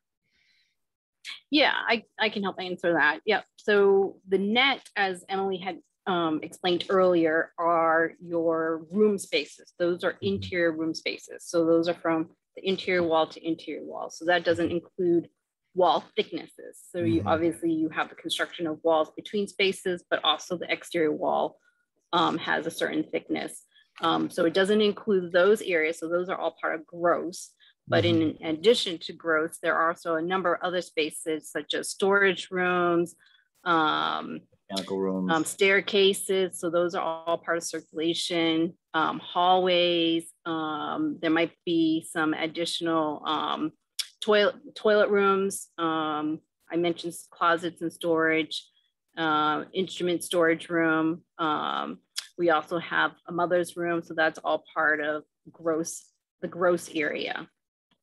And then I'm going to go one step further. So the mother's room is required because you have more than 50 employees. That's um, according to the American Care Act. Um, and you're going to see kind of an interesting um, net to gross factor. Uh, so the MSBA does not allow you to go over 1.5, right? Uh, so, so they don't want um, any tricks where you you put in weight a lot of gross square footage um, to the net. So just watch that ratio. We watch that ratio as architects. Um, and at each stage going forward after SD, we'll actually have to report where our gross square footage is based on other occupied rooms. So like the mother's room that Nina, uh, the, that Tina had um, suggested, we have to break it out for MEP, FP, so mechanical, electrical, plumbing, fire protection, closet, supply room, storage rooms, toilet rooms, circulation, and then remaining. And, and a good chunk of that is the wall thicknesses. Mhm. I got it, right. So- So basically the gross is the total footprint of the building times the store, times how many levels you have. And the net is what people are going to be in most of the time, essentially. Got it. And then looking back at, um, if you look earlier in the same, um, part piece of the submission, there's a map, um, or a floor layout, or I, don't, I apologize for not using the architecturally correct term, but basically the layout, it's the color coded layout by usage. Um, in, in what the spaces are being used for. Let me know when you're there. And, and this Do you maybe- have a talking about page where, number? like the So this- classrooms, the yeah, classrooms are it- blue yeah, it looks like and the that. cafeteria is orange. Yep. Yes, Mm-hmm. it doesn't actually have a. I don't see a page number on it actually. Page twenty-one, Oh, okay. Maybe it's from my- twenty-one, but thirty-two of the PDF that you sent out. Um, there we go. So, so just when we were talking earlier about breakout rooms and some of that extra space, I mean, the, the purple spaces on here, that's all special education, right? That's special education space and Yep. related to that. And so presumably that's, that's space we, we need. Uh, where are on here those breakout rooms and meeting rooms that you were talking about, Dr. Marsden or Steve Granum, or whoever wants to speak to it, kind of what we're talking about? Because I, I had a little trouble finding them on the map. Yeah, I can help answer. Um, so those breakout spaces are within the classroom pods. Um, I don't know if you can visually see it on your printout. So where it calls Um, like a project area, is that what we're talking about? Yep, the project area, and then there's also private breakout. So Oh, oh, private see. breakout There we go. within a closed door room. Um, so Mm. the one on one needs to happen, that can happen. Tina, are you able to share? Um, it's Um, I can try sharing screen. Let me see if I have Yeah. permission. Looks so like a lot of folks the- Can understand Mike's questions. Yeah. I mean, it, it looks like in an, an earlier era, you might say that the you know, the project areas are part of the hallway and the breakout space is a closet. At least it looks like on there. But that's what we're talking about to Yeah. scale, right? And that's what it's. Yeah. It's a small area. Yes. and it- Yeah. One This on pri- one kind of space. Yeah. Okay. in this breakout area right here. Yep. And then the meeting rooms we were talking about, because again, I couldn't quite find those either. Meeting rooms, um, was it the conference room? So there's a couple conference rooms. There's one here. Okay. Um, so that's a general conference room that can be either used by, um, you know, staff or um, if there needs to be um, a teacher with a group of students that need a space, um, they could go in there as well. And then there's another conference room by, uh, by the, um, the general office Mm-hmm. Gotcha. Okay. And so when you're talking you know, Mike or, or whoever was commenting on the changes to the program, you're talking about things like we're not going to utilize the breakout space for one-on-one. We're not going to have small group reading. We're not going to have all of the things you'd be doing in those spaces. We're, we're not going to have the time in the media center or in the maker space. That, that's what you mean by changing program, things that are incorporated in the curriculum where, and I think I read in one of the parts of the educational plan that in the schedule, so for part of the schedule, I don't know, it's one or two days a week, the classes, the classes will have time in the media center and the maker space, either jointly with a teacher and a specialist. That's kind of what you're talking about cutting program. We wouldn't do those things. Exactly. Right. Exactly, Mike. Okay. So we wouldn't have the maker space time. We wouldn't have the media center time, or it would be done in the. Because I'm more of a concrete person here in terms of Sure. programs. That's what you're talking about. You're saying Yep. we put this maker space in here because part of what we're going to do is, you know, once or twice a week, the classes are going to go there. They're going to make something in the maker space with the teacher and, and the specialist and whoever else is part of that. And same thing with the media center and with the obviously the band and the art and all that. I, I get that. And that, that now that's okay. That, that's It, it basically changes the way we're educating our Right. kids in some form or fashion. Right. We weren't going to do those things. And so those were things that in putting together the educational plan uh, through that process were determined to be things educationally we wanted to do and the space was made to fit it. Correct.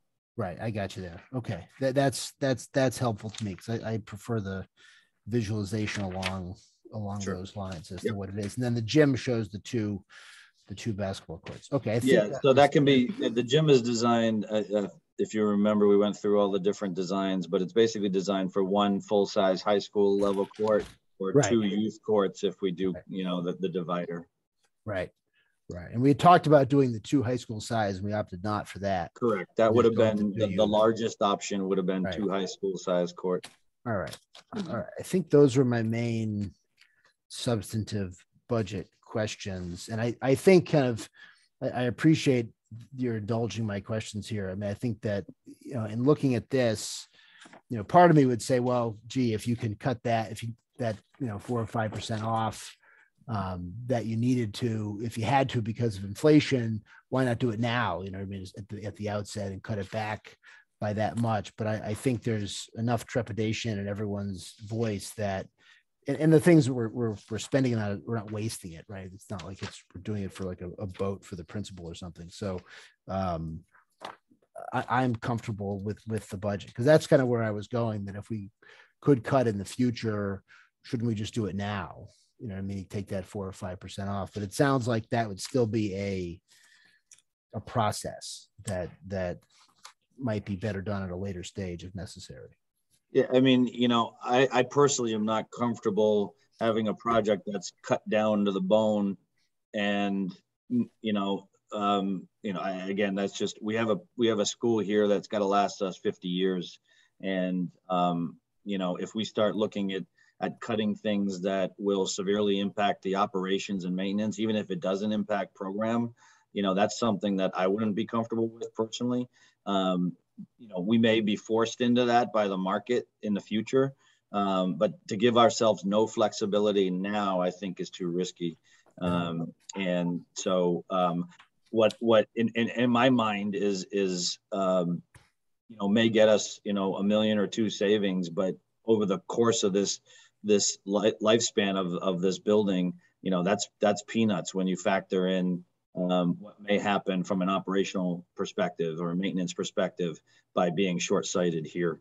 Yeah, no, I, I, I totally understand that. And that's why I say I'm, I'm kind of coming around Yeah. to a different perspective than I had maybe at the outset. I mean, again, there's obviously not a $10 million cut we can make here. Um, that would be reasonable. Right. Um, probably isn't even a, you know, what would 5% be would be like a $3 million cut. So In um, construction, yeah. in yeah. construction costs. And that, that- I, I agree with you, just given how, how far it's been cut back already. I think it's, it it makes sense to stick where we are because we may well be having to make some of these cuts down the road. So. Correct. Um, and I have some other, other, um, typo type things that I've noticed as well. Um, and I'll just pass those along, uh, to Lynn. Yeah. Um, I don't think we need to go through with the missing, you know, the, the misspellings and stuff I've identified. It's probably not appointment viewing. So, I'm gonna send you all my documents for spell check from now on. and I, and I, and I will send you a bill. Yeah. I, I think we heard no. that right, that uh, Mike will. I don't know if I can afford to that, Spell Mike. check and editorial check all of our documents. Thank Yeah. you, Mike. Yeah. Um, that's great. But at the end of the day, I still think we are we are talking about square footage here and, and supporting our schools moving forward. Um, and that is the most important part about what we're talking about here, especially with the pending items that we have facing our town about construction and the influx of students. So let's not forget that.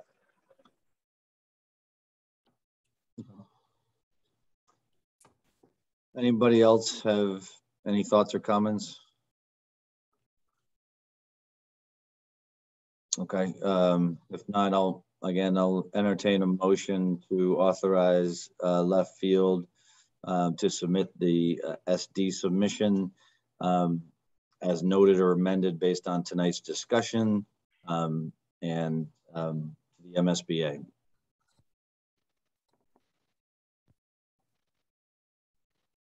Anyone? Not all at once. So moved. Uh, so I have a motion from Tim Bonfatti. Do I have a second? Second, All right, I got a second from Mike Weber.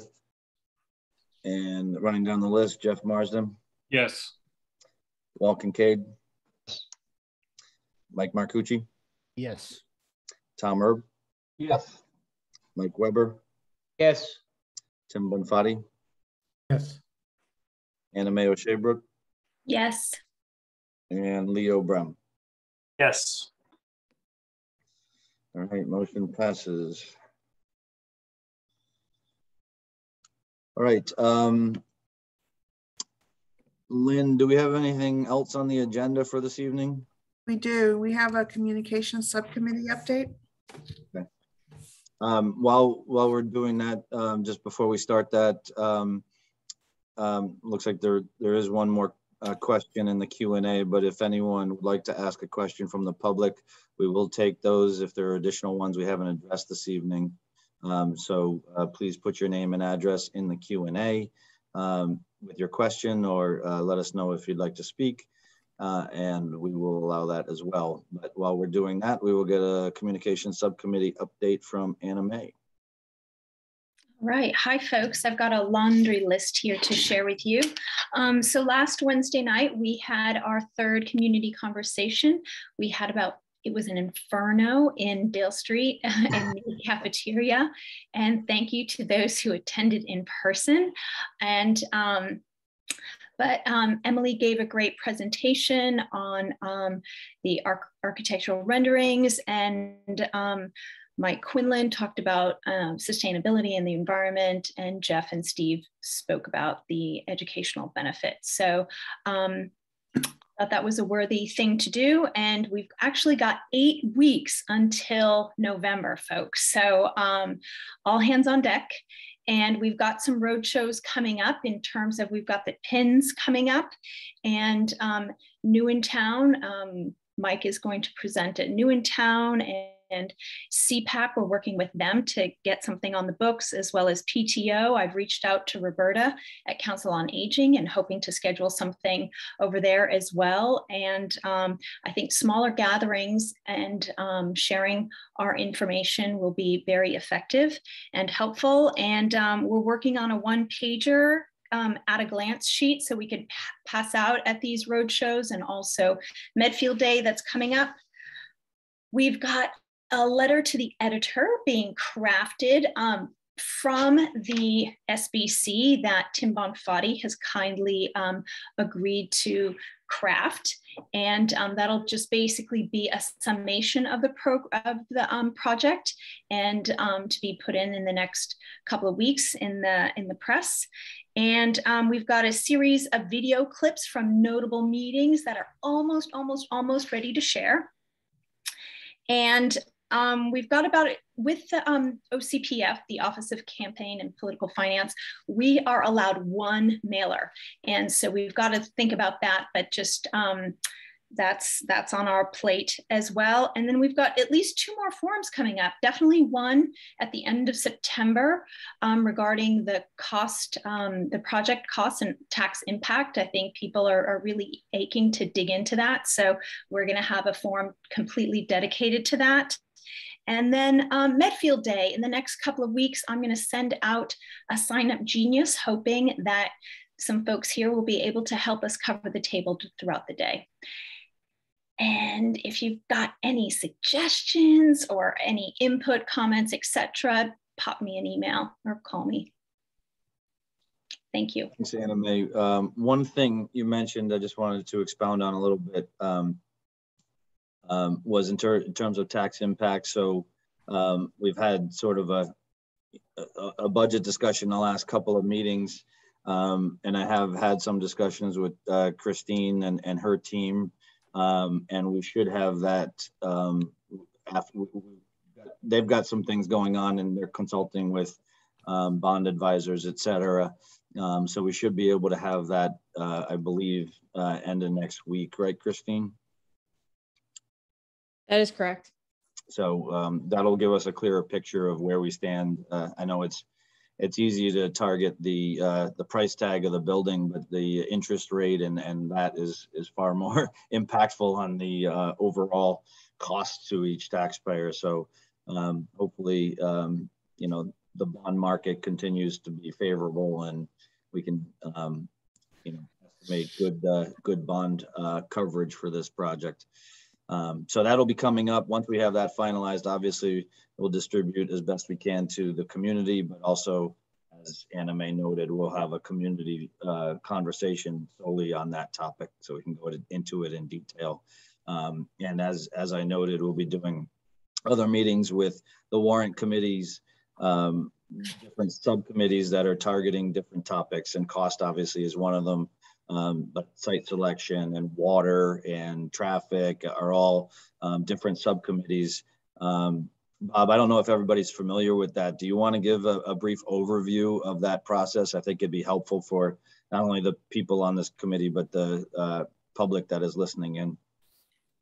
Sure. Uh, thanks, Mike. Um, yeah, so catch a couple of my notes here. Well, initially, um, you know, as I said before, myself and and and prior to that, uh, um, Sharon uh, Tatro had been the uh, the non-voting member, but we've sat as a, as a warrant committee representative, as the MSBA requires, or the uh, a finance warrant committee member to uh, to sit on the on this committee. Uh, and we've been monitoring activity to make sure that my fellow warrant committee members are kept abreast of information. As we come closer to the uh, special town meeting in November, the volume of information and the need to disseminate the facts, um, we've, we've worked on two fronts. The first is to expand the group to uh, a subcommittee um, made up of myself, Sharon, um, and Steve Callahan and and and Jill uh, Richter.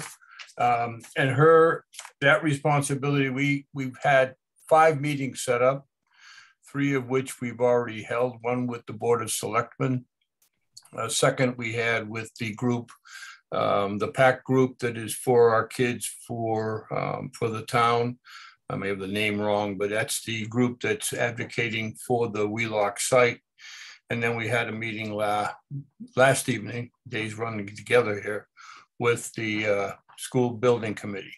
Um, all of those meetings are public meetings, open. They're, uh, the, the calendars are set and uh, have, have been disseminated and they're uh, available uh, on uh, as recordings as well. So um, we have two more meetings set up um, one on August 8th with the uh, school committee, and the uh, second on September, I say, excuse me, September 8th, and then the second was September 9th with the um, the advocates, the Dale Dale group. So um, we're trying basically to get a, a uh, establish the main questions that uh, have been circulated, the issues that have been uh, generated, meeting with the primary people who have been involved uh, as a starting. And uh, what we're going to do, and that's with a, with a smaller subcommittee, but all participants from the warrant committee are welcome. Um, following that, we have each member of the warrant committee in, in pairs uh, addressing specific questions that have come about um, over the course of this discussion. So um, one is the MSBA process, one is the uh, site selection process, another is the um, the questions that have come up with the uh, with the water issue. Um, the uh, another one has come up with the cost, of course, um, and um, one as well also with the uh, park and rec because the number of questions have come up in terms of if this uh, project is approved, what happens to the Dale Street uh, uh, facility and property. And so we felt that was important. And another is with the uh, town planning to see how the uh, uh, town planning and the long range planning fits into this. Um, so um, really the beginning, the first five meetings are really informational. Um, they're not very structured. We're not looking for presentations. Uh, and frankly, we're not really looking to see it, what if new information is provided because it is available. But we want to address the questions that are coming from the um, from the town people who ultimately are the electorate. And uh, one of the questions that came up um, has been, well, where do we go for a single source of information? And uh, with the many sources that are out there, and it's viewed that the warrant committee, because we will ultimately take a position on the article when it's presented, um, as we do on all articles that come uh, for town meeting, whether or not to uh, support or to uh, recommend dismissal of that article.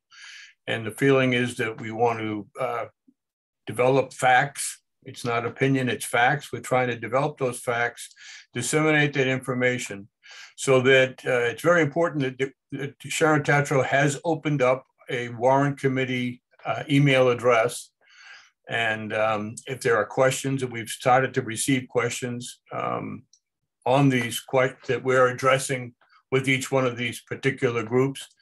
And um, so we've gotten good input there uh, and using those questions as a basis for discussion.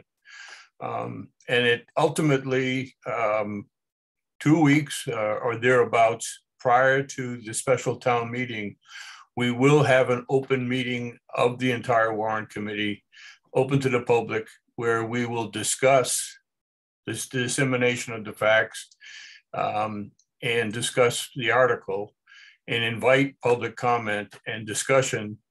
It'll be a to be heard hearing, as I understand it. And then a week later, we will come back taking that information and the warrant committee will vote um, taking a position on the article. Um, so that's a little bit of a quick summary, Mike, but uh, I, I think it's very important to think Sharon has worked very hard at disseminating the information through a number of sources um, and sending out the information on when these meetings are being held. So uh, if there's any questions, you know, pl please let us know. But we're, what we're trying to do is just get information out. And, and from my perspective, we'll be successful generating uh, people to attend the town meeting and participate. Um, the success isn't going to be measured by whether or not which way the vote goes. The success from our perspective is can we get the information out so people become engaged and involved and come to town meeting and uh, and set their vote. Thanks, Bob. I appreciate that. Um, anyone else from the committee have any further thoughts?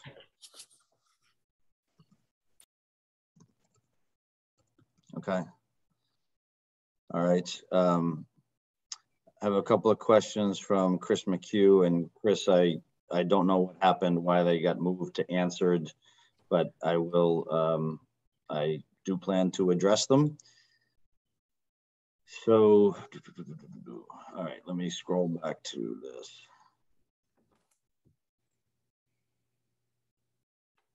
All right, so uh, next question from Chris McHugh. The MSBA statute also notes RE minimum square foot. The eligible applicant may make reasonable departures from the MSBA educational program space standards and guidelines with a prior written determination of the authority at their sole discretion. That such departures are consistent with the intent of 963 CMR 2.00 to provide adequate, safe, cost-effective, and programmatically sound school facilities. Space stand standards set forth in Table 4 in the MSBA educational space standards and guidelines may not necessarily be applicable to reconstruction, renovation, or repair projects. These standards and guidelines were developed by the authority for determining maximum size and cost related to new construction. So I guess that's not really a question, but um, duly noted. Uh, next question, how much time in the day and week is envisioned for use of outdoor classroom, including in winter? And what is anticipated funding for teacher professional development to guide best practices using outdoor classrooms? Um, Mike, if Mike, if you want me to jump in, I can try to answer that. That would be great, Steve. I was going to say, I'm, I'm, glad you're still here. Um, it'd be perfect for you to answer. Yeah, no worries. So, so the, again, a great question. I, I would be honest and say right now it's probably hard to exactly calculate yet because we could be utilizing it more with the bigger space over at Wheelock. but I'll answer it in the in the two parts of the question. So, how much is it utilized? So, again, last year was utilized a great deal uh, because of of the COVID situations. But even prior to that, you know, both grade level science units deal with the outside world. You know, perfect example is grade four spends a great deal of time with soils, rocks, and, and landforms unit. So having them outside with hands-on activity, you know, everything we've read shows that the more the kids can be hands-on, the more they're going to internalize that. There's also, you know, a lot of project-based learning um, what we call PBL learning that adaptations that can be made, you know, when we have the space as well. But again, just from two years ago to last year with COVID, you know, the math, you know, Brenda Paraki, who's our math specialist, organizing scavenger hunts outside, um, things like the walking classroom we've talked about. Teachers use that frequently. I mean, obviously, if it's wintertime and snow, they're not using that but also the Victory Garden that I've talked to, you know, Holly Caulfield, the principal. I think that the teachers are very excited about the opportunity to, to get their hands involved there um, and also to give kids real life experiences with that as far as the, the second part of the question, um, again, the, the monetary units, like we, everything we try to do, I think at Dale and, and I think in Medfield is, you know, we would try to do it without really making it cost you know prohibitive to the district. So we would be using our half days that are built into our calendar uh, our curriculum meetings that happen monthly also our faculty meetings that happen monthly and also we're very fortunate because we have common planning time uh, for both grade levels and the specialists so those are all things that we use now for other things to create professional development opportunities for our teachers so really excited and as i said i think as anna mae said on the very hot day um, you know, back a couple last week or whatever it was. I think that, you know, that opportunity, that site, you know, that's behind your head in the picture, you know, really provides, you know, our teachers and most importantly, our students with, you know, a plethora of opportunities um, that we just don't have now based on the, the campus setting between us and Memorial. So I, I hope that answers it, but Mike, let me know if you want me to expand on that at all. Uh, that sounded great to me, but uh, wasn't my question. so, um, okay, um, that was the last question in the Q and A. So, unless anyone has any new business, um, I guess I would entertain a motion to adjourn. Oh, wait, before we do that, um, Lynn, where are we with our next slated meeting? You know when our do you want to um, talk about upcoming meetings? Yeah, You just, just I think you have it in front of us. Well, I, you know, we didn't have another meeting scheduled after this, but maybe now's a good time to throw out a date and see if that works for everyone. Um, maybe And- at the I mean, end of and, the month. and, and I don't know sort of what's left on the agenda, certainly for this group, but um, um, I That's do it, think that's we'll, it. we'll, we'll want, no, I mean, I mean, future agenda. Um, you know, uh, once we get past the SD submission, you know, we, we're gonna have um, MSBA board meeting, et cetera. But I do think that this group will need to get together and, and um, talk through, um, you know, the town meeting and things like that. So, um, you know, I don't know what the right time frame is for that, but um, we look at, I don't know, maybe the beginning of October, or is that too far out? I- I think, don't we want to have a vote on the revised budget? Oh, yeah, we can do that as well. Yep. So I would say um, sometime in, in September, I would think, before the, How the about next public. the, um, let me check my calendar. Would we always also talk about um, your findings of the tax impact and all, all that good stuff? Yep, we could certainly do that. Um, how about um, January, uh, January, September 22nd? Isn't that a little close to the public forum? Could we could do the week before? I know I can't do that Wednesday the week before, but I could do another day that week. I know it's a bit of off, off our, off our normal day, but What was our scheduled uh, public forum date? Did we say the 25th? That's a Saturday. No, we originally said the September 30th, but I think we're, we're looking at the, going back to the drawing board. Okay, Well, if it's, if it's that week, then we could do the twenty-second. I just think we need a little bit of time in advance of the public forum. Um, do Thursdays work okay for people? Because I, the week before, I could do Thursday, the sixteenth. Yes.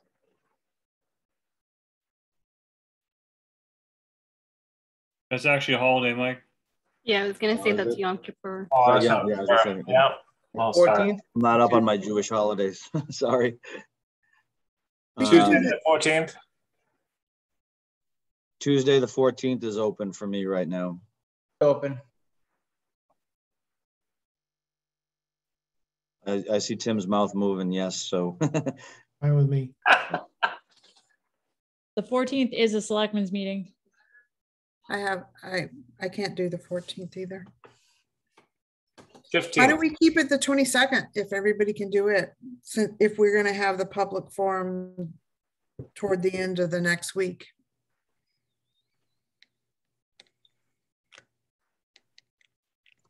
That works. That's fine. Sorry, what was that, Lynn? Keep it the twenty-second if we're gonna do the public forum near the very end of the month. Okay, Could we look at our fine calendars to talk about the, the public forum? Yes, I that'd be mean, good. yeah, to just get a date down, that would be awesome. So you're saying the 22nd for SBC?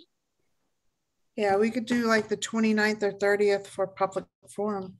That's a Wednesday or Thursday. I don't, um, Right. Honestly, I, I'd like to do it opposite. Like if we can, what, what were you proposing, Leo?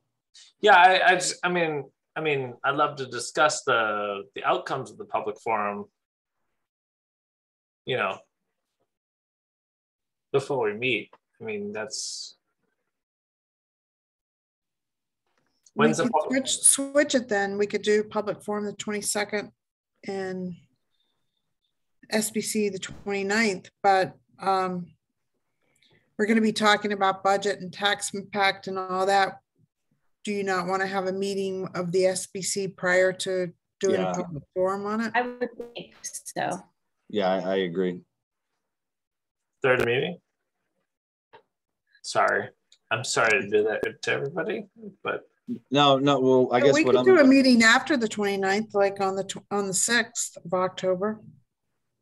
as a recap for the community conversation, Yeah, yeah, I mean, we're gonna need to meet in October as well, so we can certainly recap that. I mean, I would, I guess I would say, you know, if the twenty-second doesn't work and we think that's too close to the community conversation, then you know, my alternatives would be the, the fourteenth or the sixteenth, and if the sixteenth is a Jewish holiday, um, I would propose the fourteenth. Could we, yeah, could we do the 14th as the SBC meeting and then the 22nd as the community f- uh, conversation? I don't see why not. Would that work for folks? Yeah, you'll, you'll just lose Christine and me because we have a board of select meeting the Oh, oh fourteenth, but Sorry. fe- no, no, no, feel free to schedule at that time. That, that's Yeah. That's- We'll One send you less the meeting for recording. you. Yeah.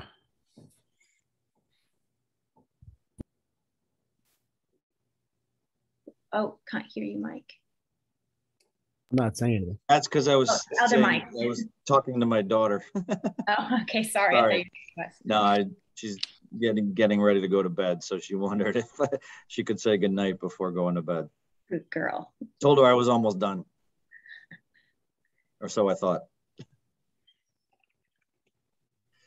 All right, so what did we land on? The fourteenth?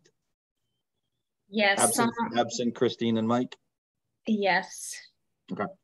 And then the 22nd for the community conversation or forum, whatever we call it, for talking about project cost and tax impact. And then. And are we uh, thinking another live, I think another live one like we did at Dale? Yes. Hopefully, hopefully cooler temps. Please. yeah, Okay, hybrid. Yeah. okay. That works for me. I'm putting it in my calendar. Awesome. Thank you very much. And do we want to set October for October 6th?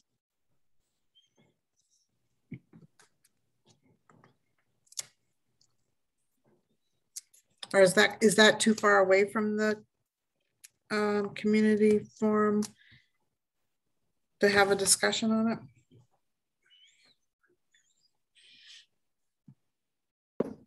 Um,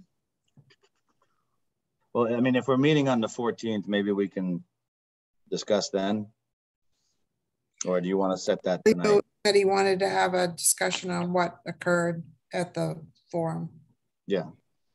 Um, uh, one, uh, 10, 10, 6 is fine by me right now.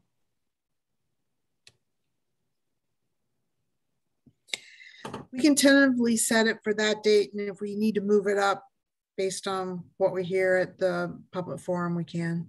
Sure. Okay. Yep, we can always adapt. Yeah, that's all we had on the agenda, so. Okay, um, unless anyone has anything else, I'll entertain a motion to adjourn. So move, Jeff. Second. Motion from Jeff and a second from Leo. Everybody's loves, loves making the motions for that, for that one, right? All right, uh, so running down the list, Jeff Marsden, Yes. Walt Kincaid, Yep. Mike Marcucci, Yes. Tom Erb, Yes. Mike Weber, Yes. Tim Bonfatti, Yes.